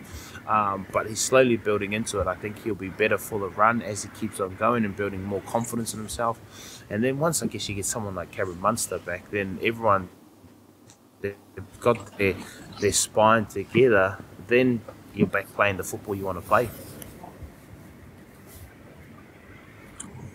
Yeah, and for our for our viewers uh, that aren't aware, one of the biggest roles in a club is the head of performance. Now, the head of performance is in charge of not just what happens on the field, but the training levels, the training loads, the training content, injuries, rehab, coming back from injuries. So, the head of performance um, at Melbourne, he'll be very nervous about the injury toll that Papenhuyzen has had and, and his past hmm. record with injury. So, no doubt, he's having an influence in how they're playing, and he'll be in Craig Bellamy's ear saying, "Hey, I know you want him on the field, and we need him out on the field, but is there a way that we can have him effective, but also reduce that workload in order for us to keep him out there? Because they haven't had him for a whole season for a long, long time. Th- That's what they want. That's what they'll need.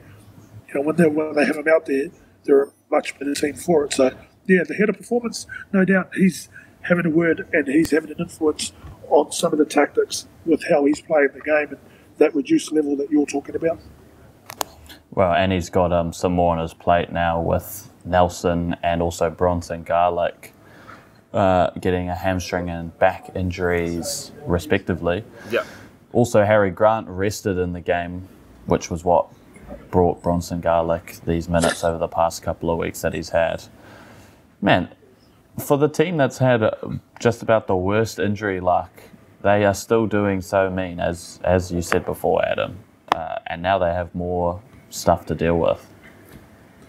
well, just it just sets up the, the culture and the systems and the structures that the Melbourne Storm do and have created over the years since their inception.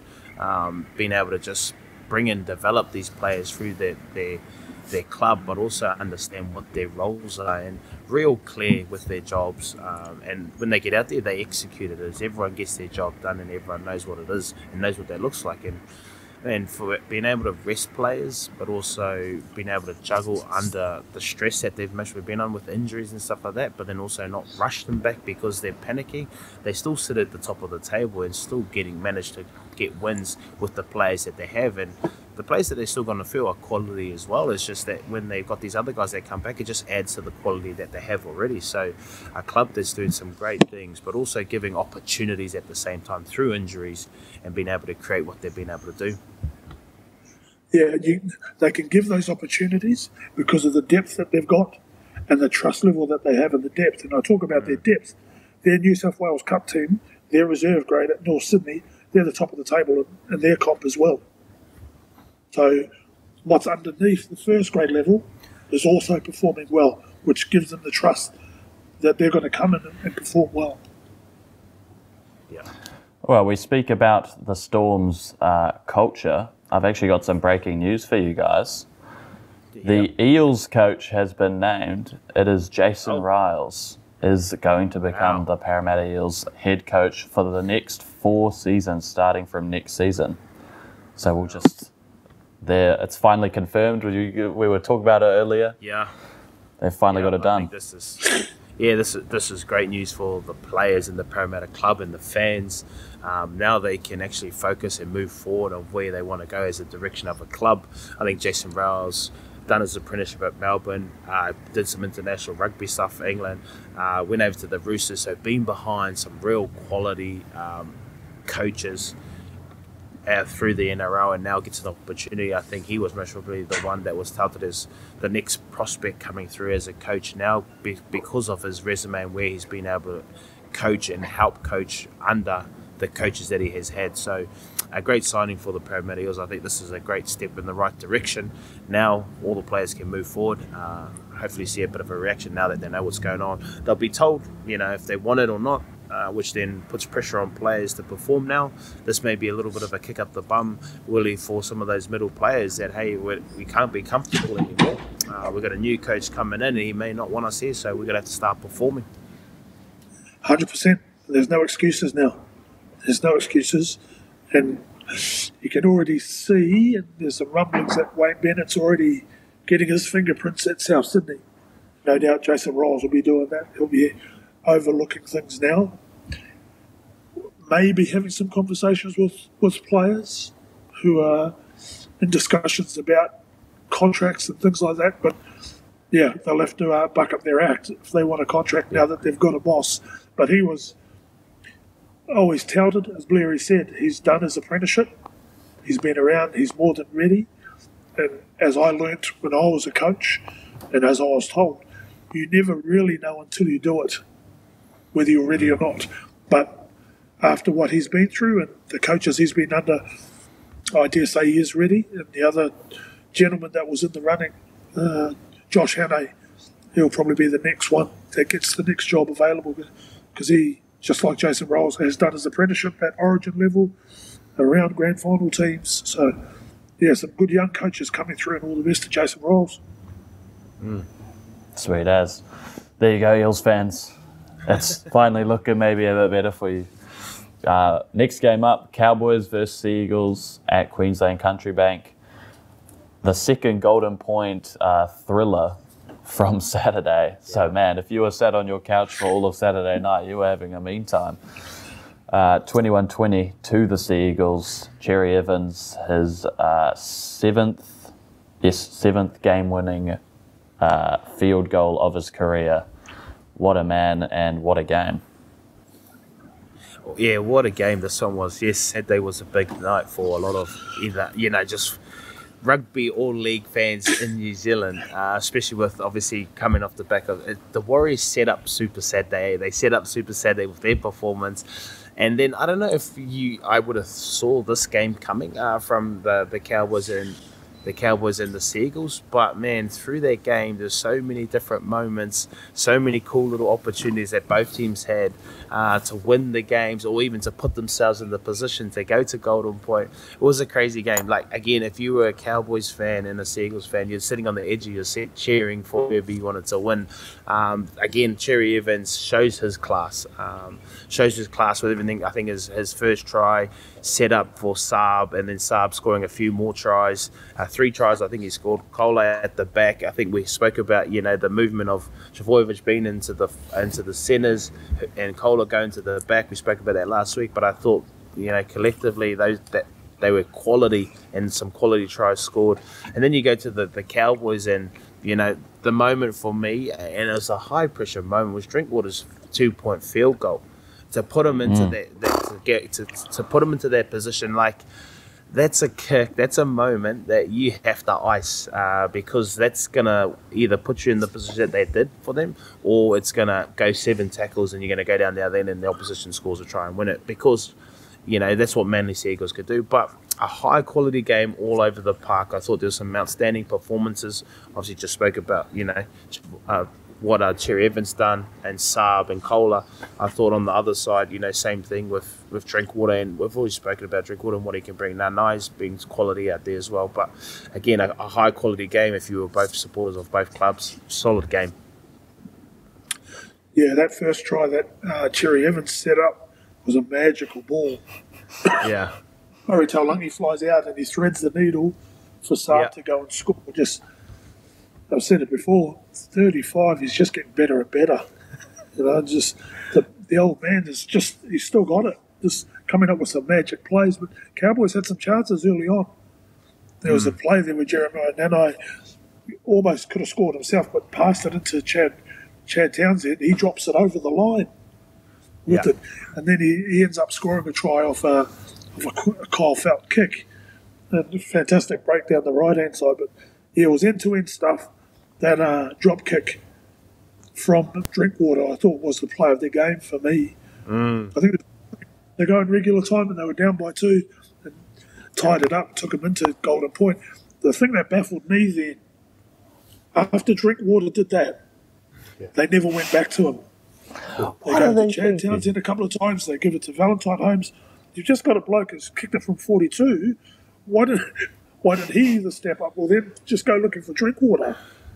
Yeah, I thought. Uh, yeah, Willie. I think, like you said, Willie, man. I thought you know Drinkwater was he can he can kick a ball, obviously. Yeah. Um, but they went back to Val Holmes, and he just wasn't he just wasn't hitting them right.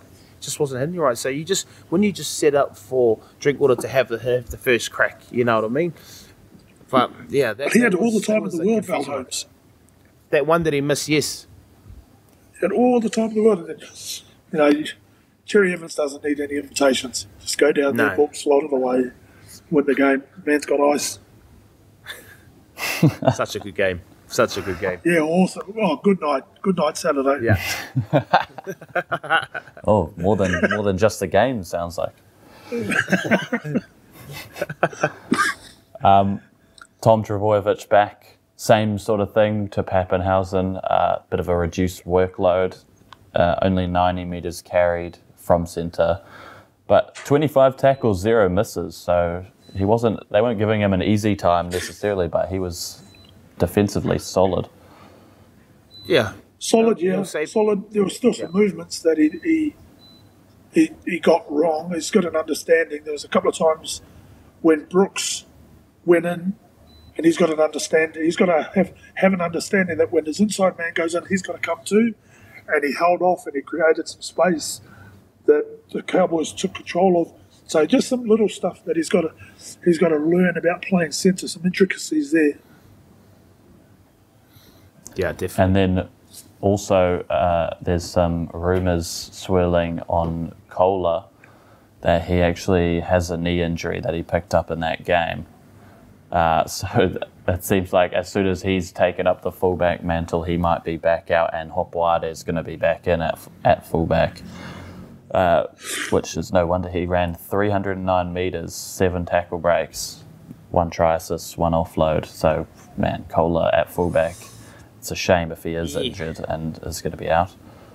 he's he's a he's a he, I think he's a support runner as a fullback, carries the ball back strong, but his his effectiveness is around the middle of the park. So when there's a break, he's that quick. He can get his hand straight on the ball straight away and make those make those half breaks turn into long distance breaks. And I think that's where his strengths are. Yes, he carries the ball back nice and hard, um, but then when he gets into space and he breaks those tackles because he's a powerful runner, he can execute the pass to score. And that's what they did. I guess that sub try that he scored that long distance one as well. Yeah, Going if forward Lehi, for the Lehi Cowboys. comes back in, that's that's what we said. It should have been Lehi from the start. Mm, yes. yes. um, going forward for the Cowboys. So their past nine games at Queensland Country Bank Stadium, they've only won three. Uh, but they have been actually playing good outside of when they're at Queensland Country Bank. What do you think the Cowboys are a solidified top eight team? Um, no, I think there's. I think anyone from from that four four down can still be competing. You know what I mean? I think, you know, you talk about the Broncos and where they are at the moment. They, I think they're sitting at eleventh. Um, so there's still a chance of getting in there. So there's uh, the competition's so tight. Which is great about this competition is those guys anywhere from four down to about the 14th mark as the Warriors. Just, just, I'm just giving them a little bit of hope guys, for our Warriors fans, just a little bit of hope that they could be they could be any chance of being in the eight. Um, that I guess the back of this, the back of uh, Origin will be will tell the story about which teams step up and go up another gear. Uh, that'll be the big key for most teams, and the Cowboys as well, the Seagulls and the Dolphins too, who have been falling off the off the back as well. So it's a tough competition. I like it, and I think this is where uh, the best teams will stand up in the next uh, you know month or fortnight. Yeah, there's Okay. there's a lot to be said between now and then between the eight, and as with the Cowboys losing Murray Taulagi, that could have a big effect on them. Uh, Yes. Getting Cleary back. There's some Melbourne are picking up some more injuries. Other teams could pick up some injuries along the way. Who knows what can happen? I don't, I don't think anybody is really settled other than the top three in the eight. Yeah, I've got to keep asking the question to stir up the dramas of the top eight, you know, as as they do on the as they do on the big screens, you know, the big media. Uh, next game, the big 307, Roosters Wow. versus Dragons. Jared, what a what a send off! Oh, not a send off yet, but what a really? what a Are you talking about props his, to him. his, his 10 minutes send off? you meant? yeah. But what a way to celebrate that game with a massive win, 42-12 over the Dragons. Man, the Dragons conceded over 100 points in two games to the Roosters this season. They're really just the bogey team, I guess. Yeah. Yeah. Yeah, yeah. It's um again like what a what a record, what an achievement for a Kiwi player to play. You know now have hold the record for the most capped Rooster player ever. Um, man, he's done so much. I guess for that club, uh, he's done so much for New Zealand. But when he's represented New Zealand, he's done so much for the game. Uh, he is most probably a dying breed of enforcer in the competition. Um, no one plays the game like he is now. The way that he carries the ball, the way that he defends, and it was a fitting moment. Uh, Ten minutes on the sideline just to chill him out a little bit. You, you, you- couldn't have envisioned a game this big of occasion, a game, if without Jared sitting on the sidelines for a little bit of a stint, because you knew that he was going to come out and put his body on the line, or his head in the wrong position, or his shoulder in someone's chin, because of that's how he plays. And I think I think that you know that I saw them speak about Jared coaches as well. Speak about how Jared is the toughest player that they've had in that club, but also plays the game on the edge. And like I said, there, there it is a dying breed of how Jared plays. The game has changed so much to then, and you know, credit to, to Jared and what he's done for the game, but also for the Roosters, man, and still got more games to come. He's going to be, you know, he's going to be breaking records uh, for that club. Enormous effort, uh, great win from the Roosters. You know, Sam Walker, the bro is just going from one one step to another, just doing things that not many people are doing. But quality game for the Roosters. They were strong. They were strong. They were tough. They were competitive. They had so much to play for. They wanted to get this one for Jared. Um, you know, outstanding. Dominic Young was good on the edges. What they did and what they were able to create with the players on the back of some intimidation, some energy and defensive work was out, outstanding. You look at the Dragons, um, you know, they're inconsistent with their performances. There's some days there where they look real good. You know, Jaydn Su'A's playing well. You know, Ben Hunt's playing well. Everyone's playing well. And then they come up against, like you said, a, a team that had so much to play for and just gave them a bit of a rugby league lesson. Just put it on them from the get go, uh, played tough and it's hard to see what the Dragons are. They they sit in and around the eight as well, and uh, they just can't find consistency with their performances and how they can perform against, I guess, a team that tries to come out. And the Roosters are known to be able to bully teams because of obviously on the back of what Jared Jared does and how he carries himself. So a team that puts it on the Dragons, I feel like Dragons try and find can't find what it is that they can get over the top of the uh, opposition like that yeah, huge congratulations to Jared. 307 games, most capped rooster of all time at a club that was a foundation member. They were one of the original clubs in our game. So you, that gives you an indication of how many players have gone through that that club. Players like Arthur Beetson, you know, some legends mm. that have been through there. And he sits at the top he's at the top of the pile for for appearances. So yeah, he'll forever go down in the annals of history of that club and in the game as one of the greatest to ever pull on the tricolours. Yeah, he's been a fantastic performer, a legend of a fellow, you know. So yeah, it was great to see him go out there and play no differently to the way he's got to the other 306. His first first tackle of the game mm. set the tone for it. He yeah. just went after Bully and just put him on, put it on. It was almost like he had a, a, personal battle with him. He was trying to chase him when he was carrying the ball, and every time he carried it, carried it at him, he was swinging, got a swinging arm. So yeah, probably fitting he, he hadn't got the Jared ten minutes. Gets back on there, gets the split on the head, bleeding. Fans are loving it. Brave hearts walking yeah. off the field. Yeah, Jared's, Jared's loving it. He going on. so yeah, it was a, a real big day for him. But uh, one I think is he's really stepped up lately is Sam Walker. His kicking game for the Roosters, outstanding again. Short kicking game, long kicking game, short passing game. He's uh, creating a lot of havoc for his back rowers and his centres. They had to have Tupouniua outside of him this week. He picked up a try. So the Roosters, again, attacking wise, um, interesting for me, I think he's Tedesco's playing the best form that he's had for the last couple of years. And it's just yeah. a shame that he misses out. I still think, though, I still think he captains Australia and plays there at the end of the season. Oh. As crazy that might seem, he's missing out on Origin, but I still think he's the Australian fullback come the end of the season. And, you know, such as his form right now. But yeah, the Dragons, yeah, disappointed.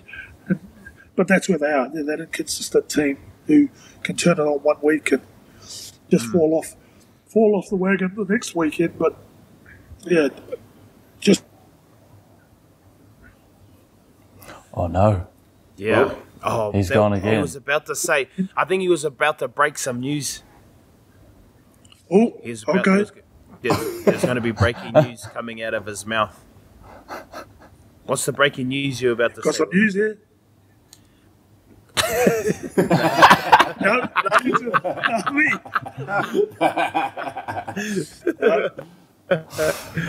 no, no, no. But what what you did say about Tedesco? No, no, there's no, there's no. oh, Tedesco, yeah, Tedesco. Um, I was just going to read out his his stat line: the one try, yep. 324 meters, one line break, mm. two try assists, 13 tackle breaks. Like you're you're so right, Willie. The man has been cooking for the Roosters. Um, one thing the for on Jared, I thought so after Sitili's try at the right at the end of the game, he went back to the Roosters try line, and the sound of the crowd was oh, insane. Oh, they were they were all I think they were chanting Jared, Jared, and it was so loud, just like off my little laptop speakers. I thought that was a pretty, pretty sweet moment. Yeah, well, fitting moments for someone that's done so much for one club. You know what I mean? And the respect that he commands on and off the field, but the, I guess you know the the humble guy that he is off the field compared to what he is on the field. Um, it's it's a massive representation of what he's able to been able to do for their club and how much the fans respect what he's done. But also the club, uh, he will go up and on the walls in that club. People will walk in and he'll be up there with alongside some of the legends of the Roosters. So, um, you know, congrats to the big fella. Uh, he looked really good when he had the old blood coming down his face too. What a what a what a picture that he'll have there forever, eh? A moment, and to be able to go with his family and his kids. Like you know, there's no better way to go and um, celebrate a moment like that and walk out with your family, but also see everyone you know have a, a put in a tunnel for him and he walks out and that's how much respect that everyone has for him. He's been able to do that and an awesome day, awesome achievement, and you know the bros still keep going. Um, Roosters wingers. So we did our mid-season awards predictions two weeks ago. In that time, all of a sudden, the Roosters wingers have both shot up the try scoring uh, leaderboard. So they're now second and third most. Dom Young on 13, uh, Daniel Tupou on 12. And I'm kind of feeling like we said Lofiana Khan Pereira is going to score the most tries. I'm kind of thinking maybe we should uh, revise that, and it's probably going to be Dom Young. Dom Young, yeah, Dom Young, yeah. Especially how the Roosters have been playing. Well, well, that's that's the thing, eh? The like the Roosters are playing a style of football where their wingers score a lot of tries. Um, the Titans rely on um, Khan to make long breaks or finish tries or kick early and those kind of things. The structure and the style of Roosters play involves the wingers scoring a lot of tries. They they kick threats as well in the air, so they kick to both of them. But also, hmm. you know what I mean, they can score tries from far as well. So yeah, they maybe maybe we might revise. we got time. We could do what we want. what do you mean? Okay, on to the last game of the weekend. Raiders versus Knights at GIO Stadium. 16-12 to the Knights. Pretty hectic end to that game as well. A lot of good, lot of good games this week, but this was uh, the one to end it all. Ponga back as well. Yeah, I think, um, yeah, like you said, for a great weekend of rugby league, I think um, some great milestones. Obviously, we just spoke about it, but also some great footy played. Uh, the, the teams, and it's getting competitive. This is what it's bringing. You know what I mean? It's bringing out the best of teams. It's bringing out the best in players. Tedesco, for example, but also. Uh, you know, bringing players back from injury, Kalyn Ponga and, and him for the Newcastle Knights. Again, liking the Newcastle Knights when their forwards are playing well, allows everyone else to play their structure. The Canberra Raiders uh, are a tough team, have been a tough team this year to know what they're trying to, how they want to perform. They've had moments where they look good and tough and strong. I've always known the Raiders to be uh, a tough and resilient team that they will never go away. They'll keep playing to the 80th minute, and you have to beat them. You, they're not going to beat themselves, and that's how they kind of that's the the style of play that they play. So for the teams that they play against them, they need to play some football. They can't just get into the grind of these guys. They can start like that and then try and score some points. And I think, you know, the Newcastle Knights got away and, and got, got the win there, but the, the Raiders are still trying to find a little bit about themselves, I think, this year. Like, the competition's tough. And these guys, you know, Joseph Tapine is just trying his best. Uh, he's a, he's a world class player and he's doing his thing through the middle of the park, but he's most going to need some support. I like, obviously, we've spoken about Kaeo Weekes and what he's been able to do. That try that he scored was outstanding. Um, he is lightning fast. Um, you know, I've seen him score some tries. I didn't know he was that quick, but he's been able to, you know, with their young halves, they've been able to create moments of, of brilliance, uh, but it hasn't been consistent enough for me. Yeah, I think Ricky Stuart will be disappointed in some of their defence and their application to defence. Some of the some of the tackling was feeble at best from the Raiders. Uh, the Knights ran hard. They ran hard definitely, but yeah, they, they missed some tackles and fell off a lot of tackles where their contact was just not where it needed to be. So I think Ricky Stuart will be disappointed with, with some of that. But yeah, great to see Kalyn Ponga come back, back to his running best. Hence why his uh, his name has been mentioned again. Straight back into mm. Origin, one game on the bench. If that's the case, that'll be good. But he has given himself an opportunity. Dane Gagai was strong again. They almost had a chance if uh, Savage had to put the ball down in the corner yeah. to tie it up. Would have been back to extra time, another extra time game, but it wasn't to be for the Raiders. So their poor home form continues, and as Blairy said, they're still on a bit of a journey of discovery to who what their identity is. You know, it's a bit of a shame to be saying that. You know, this deep into the season, but I think their plan is long term. Their plan is is long term for the Raiders, especially with Ricky re-signing and some of the young talent they've they've got coming through. But the the Knights are dangerous. The Knights are dangerous. Greg Marzhew's playing well again. They've uh, got themselves into ninth position, knocking knocking on the door of the eight on the equal points. But yeah, they could be another team that if, if they find some confidence, could be in the, could be there in the postseason. Well, especially yeah, Willie. I think just touching up, just before you go, um, Ephraim, just touching on Willie's point about building, and I think if we're talking about um, the identity of the Canberra Raiders, we can kind of already see where they're heading around. Obviously, they're two young halves and the direction of where they're trying to head. I guess development and development for the future. Um, you know, so they, like you said, they, they're trying to figure out who they are as a club now. And like I said earlier, they have been a club that will never go away. They keep turning up. I think they're trying to create that with these younger players now, so they're building for the future. So I guess for Canberra fans, it's just a hold in there. Uh, because there is some great talent in that club as well, and they do some great things already, but they're inconsistent with what they're doing, especially in defence. Um, for the Knights, uh, that Ponga sort of best Marzhew and then out the other way to Gagai, and obviously last season it was Dom Young. That was when they went on that massive winning streak. It was off the back of the mm. back fives, just incredible ability to attack out wide. Now that Ponga is back, Best's back from that injury he had earlier. Marzhew has started picking up his form after only scoring two tries in I think the first ten weeks. He scored three tries in the past two weeks. Yeah. And then Best obviously last week as well. Are they going to basically? I'm asking. Are they going to do the same as they did last year and make that massive run off the back of Ponga's brilliance? Well, they'll, all teams are going to want to do that wouldn't they? All teams are going to want to do that, and, and Newcastle want to do the same. Like you said, on the back of Kalyn Ponga now being fit and healthy and back on the field, anything can change in the game of rugby league week to week, day to day.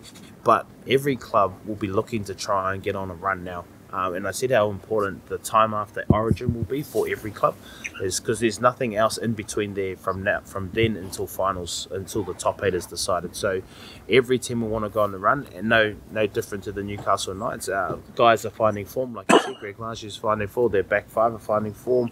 Gagai's getting back into his best. Hence why they're both being selected, him and Ponga, for for hopefully you know ins for the Queensland team. So you know, they'll, they'll want to go on a run. Uh, and some of the guys that took them on that run last year are finding their form now and, and playing some really good footy. What they haven't had this year with the Knights, and what I think they need to find if they're going to go on this run, is a settled halves combination. Mm. They've had Gamble, they've had Cogger, they've had Hastings. Now they've got Hastings and Will Price, who seems to be clicking these two have had two pretty good games together. If they can gel and they can have a partnership that stays together for a little while, then I think those two can help Ponga be even more effective and help them go on some sort of a run that you're talking about they went on last year. They can't just rely on Ponga. He can't do it all on his own. He'll come up with some magic. But unless yeah. they find a combination in six and seven – that allows them to get that space, that allows them to get clean ball to help those edges look dangerous, then they could struggle. But yeah, they, they've got to do that first. Find out who what halves combination is best for them. Um, Tyson Frizell played his 250th game. Yeah, it's great. Um, another guy that's been in the obviously the NRL for a long time and is a quality player at that um, and representative player, international level, uh, strong carrier, confidence. I guess confidence when he's on your t- uh, on your side when he's your back row as a half. Like he works hard, he runs really good lines. Uh, 250 games is no easy feat. You know, we're talking about guys playing 300 or even you know debuting games. Like it's just as special as your first game as as your 250th, and it's a credit to him and what he's been able to do through his career, and he keeps on and creating more opportunities for himself further on. So a massive congrats for Tyson. Yeah, what what an achievement! You know, we talk about Jared 307, even 250, fantastic. he's he's not the biggest forward in the game. Mm but he plays all heart. He's all effort. And you've seen, you look back at his highlight reel and some of the stuff he's done in Origin, chasing wingers down, and mm. he just up on any play, which is why teams love him and why he's got the 250 game. So, yeah, hopefully in the next couple of years he gets his uh, 300. Mm. Uh, one more thing on this game. Uh, unfortunately, Enari Tuala He's torn his calf. Uh, who do you guys think will be the replacement? So he's on the right wing. It could be Tom Jenkins, maybe uh, Fletcher Sharp, or maybe could David Armstrong, before he leaves at the end of the season, could he come back into the team? Um, I think they'll go with Fletcher Sharp. I think, I think he's a quality. I think he's a quality player. He he need. I think we've seen what he's been able to create from the fullback. So he's more of a runner, more of a runner. But you add him and um, Kalyn to the back back three.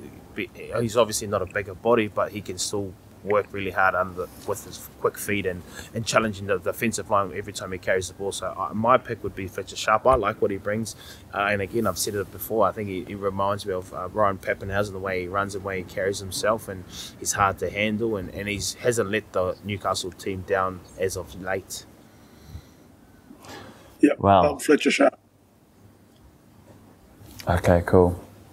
Well, before we go off, I was a bit padding out the runtime in that game at the end because I was waiting for the Queensland squad announcement, which it has finally come out. Oh, and wow. well, fitting we talk about some Knights in the last game because I'll read the squad out to you now. So, from starting from up the top, Reece Walsh, Selwyn Cobbo, Dane Gagai, Hammer, Val Holmes, Tom Dearden, Cherry Evans, Reuben Cotter, Ben Hunt, Lindsay Collins, Kurt Capewell, Jeremiah Nanai, uh, Pat Carrigan, Harry Grant, Mo Fotuaika, Kaufusi, and Ponga at 17 with uh, Reed Mahoney at 20. That's hey, I had a big smile on my face when I was looking at that line, and I was like waiting for Reed's name on the bottom. Put him in there, get him in there, give him a taste of, give a taste of the Queenslanders. Uh, yeah, um, a quality, a quality side, I think. Uh, Dane Gag, obviously, leadership. Um, hammer in the centres, obviously his shoulders okay, those kind of things. But I think, um, you know, it's going to be a tough game. Trent Loiero gets an opportunity. He, he, gets no, he doesn't get. It. He's 18th man. Trent Loiero is 18th man, but Kalyn Pong on the bench again. If you look at the bench, how it's going to be. This is going to be a fiery game. I think you know Queensland up against it. Both teams. It's it's a decider. If you look at the the two teams, especially the bench, there's a massive difference around where we know and where, what we've seen of the last game, where the Newcastle or where the New South Wales team's going to go. It's going to be a power game. They're going to create momentum through the forwards, and then on the back of that, the kicking game of Mitch Moses is going to be high quality. So they're going to try and replicate replicate the same game style and play that they beat them in, in game two, and go up to Queensland and try to do the same thing. Queensland, they're gonna they're gonna be up against it. I, I think you know when you look at their forwards, they're going to have to stand up and go toe to toe with some of the big big forwards in the New South Wales pack team, and then on the back of that, the benches are going to have to come on and and face some of the bigger boys as well, Spencer Leniu and Mitch Barnett. So, a competitive team. Uh, man, this is a hard one. This is a hard one. Does that mean Jaydn Su'A has been suspended? Uh, he's been dropped. It's flat dropped. dropped. Wow. Ooh, He's well. been left, left out of the team. Okay. Yeah, well, call. you know, Billy Slater makes some big calls, doesn't he? He, he normally picks and sticks, and he's not afraid to make these calls too, Willie. So, um, you know, it's a bigger, bigger mission from him. Yeah, well, we've been screaming for Dane Gagai to get in there. He gets his chance again. He was 18th man last last Origin game. Um, interesting that he goes straight into the centres. I know he's been playing centre there for the Knights, but played his majority of Origin career at wing. Then they shift Valentine Holmes out out to the wing. And the, whether they swap those two over come game time, I'm not too sure. But they're both experienced. I'm just happy to see uh, Gagai and Cobbo back in there. Those power carrying backs that can get help get it, get us out of the backfield, get us on a roll on. Uh, but yeah, a good side, very good side. I think Kaufusi's played a, a couple of games at middle this year. He's been pushing up in the absence of Jesse Bromwich. He's played played middle for the Dolphins, so yeah, he can come on and cover that spot. But big job for uh, Mo Fotuaika coming off the bench as the, Huge. the sole middle on that bench. Big, big job for him. We've got some pace, got some uh, ability there. Yeah, only a couple of seasons ago, uh, Kalyn Ponga came on and played 13. He did a Yeah. really good job. He busted a busted New South Wales open through the middle with one of his carries. So, whether that's a ploy that Billy Slater's looking at too, possibly. Yeah, I, I think so, Willie. I think you know why. I don't see him sitting at the back or in those other positions unless someone gets injured. So I think he falls straight into that that 13 or that 14 role where he gets oh, well, he's playing. What numbers he there? He's playing 17, but I think he'll be in the middle of the park. He'll play some shape off him. When those bigger middles get tired, Yeah. hopefully the, the position is 50-50. That's when he's going to come into his own. If they've got no, if they don't have position or they don't have field position, Willie, it's going to be real. I think it's going to be a real tough night for the Queenslanders. Very small bench forwards. Mo, Fotuaika, and Kaufusi have a massive day, like you said, to go up against some of these bigger guys, and then they've got Harry Grant and, and Kalyn Ponga to try and dig them off out of their 20 metre line on the back of some really good kicking from Mitch Moses. So a big, big day for those bench boys. Um, if the if the game's 50-50 possession and they're completing high both teams, I think the Queensland team will, will come away with this one for sure. It seemed like a lot of fans were uh, calling for David Fifita, obviously. Uh, I wonder what's going to be the talk now that Su'A did get dropped and it wasn't Fifita coming in to replace him. Yeah, well, it's everyone's been calling for for Fida, eh? And I don't like again, like you said, Willie. He's done nothing wrong. He's tried his best. I'm guessing, you know, I I I don't know what Billy Slater's thinking, uh, whether he he's got some little things or whether the game he's going for more leadership and guys that have played bigger games are more more games at that higher level. I don't know. I think Fifita's a game a game breaking forward that could come off the bench and add value. Uh, but he's going for I guess someone like Kalyn Ponga who can still carve up the middle of the park if they want to spread the ball. But the whole thing for me, and I just said it before, is the game has to be 50-50 um, share of possession. If it's not 50-50 share of possession, the team that has more possession is going to win the game hands down. Uh, with the back of New South Wales and their kicking, but also if you know Queensland have it, I think they've got the strike power. Anytime they get inside their 50, and we've seen they can score points. They've got players there that can score points. So 50-50 share of possession is going to be the key uh, for both teams to try and win it. If it, both teams get it, it'll be a great game. Yeah, it's, uh, it is a bit of a shock for Fida, especially when they dropped Jaydn Su'A. They've gone with a lighter bench. But yeah, that's his call. He's he's obviously seen something, and no doubt today, I dare say, he'll be asked the question what Fifita has to do, and we'll find out an answer from Billy Slater as to why he's left him out of the squad again.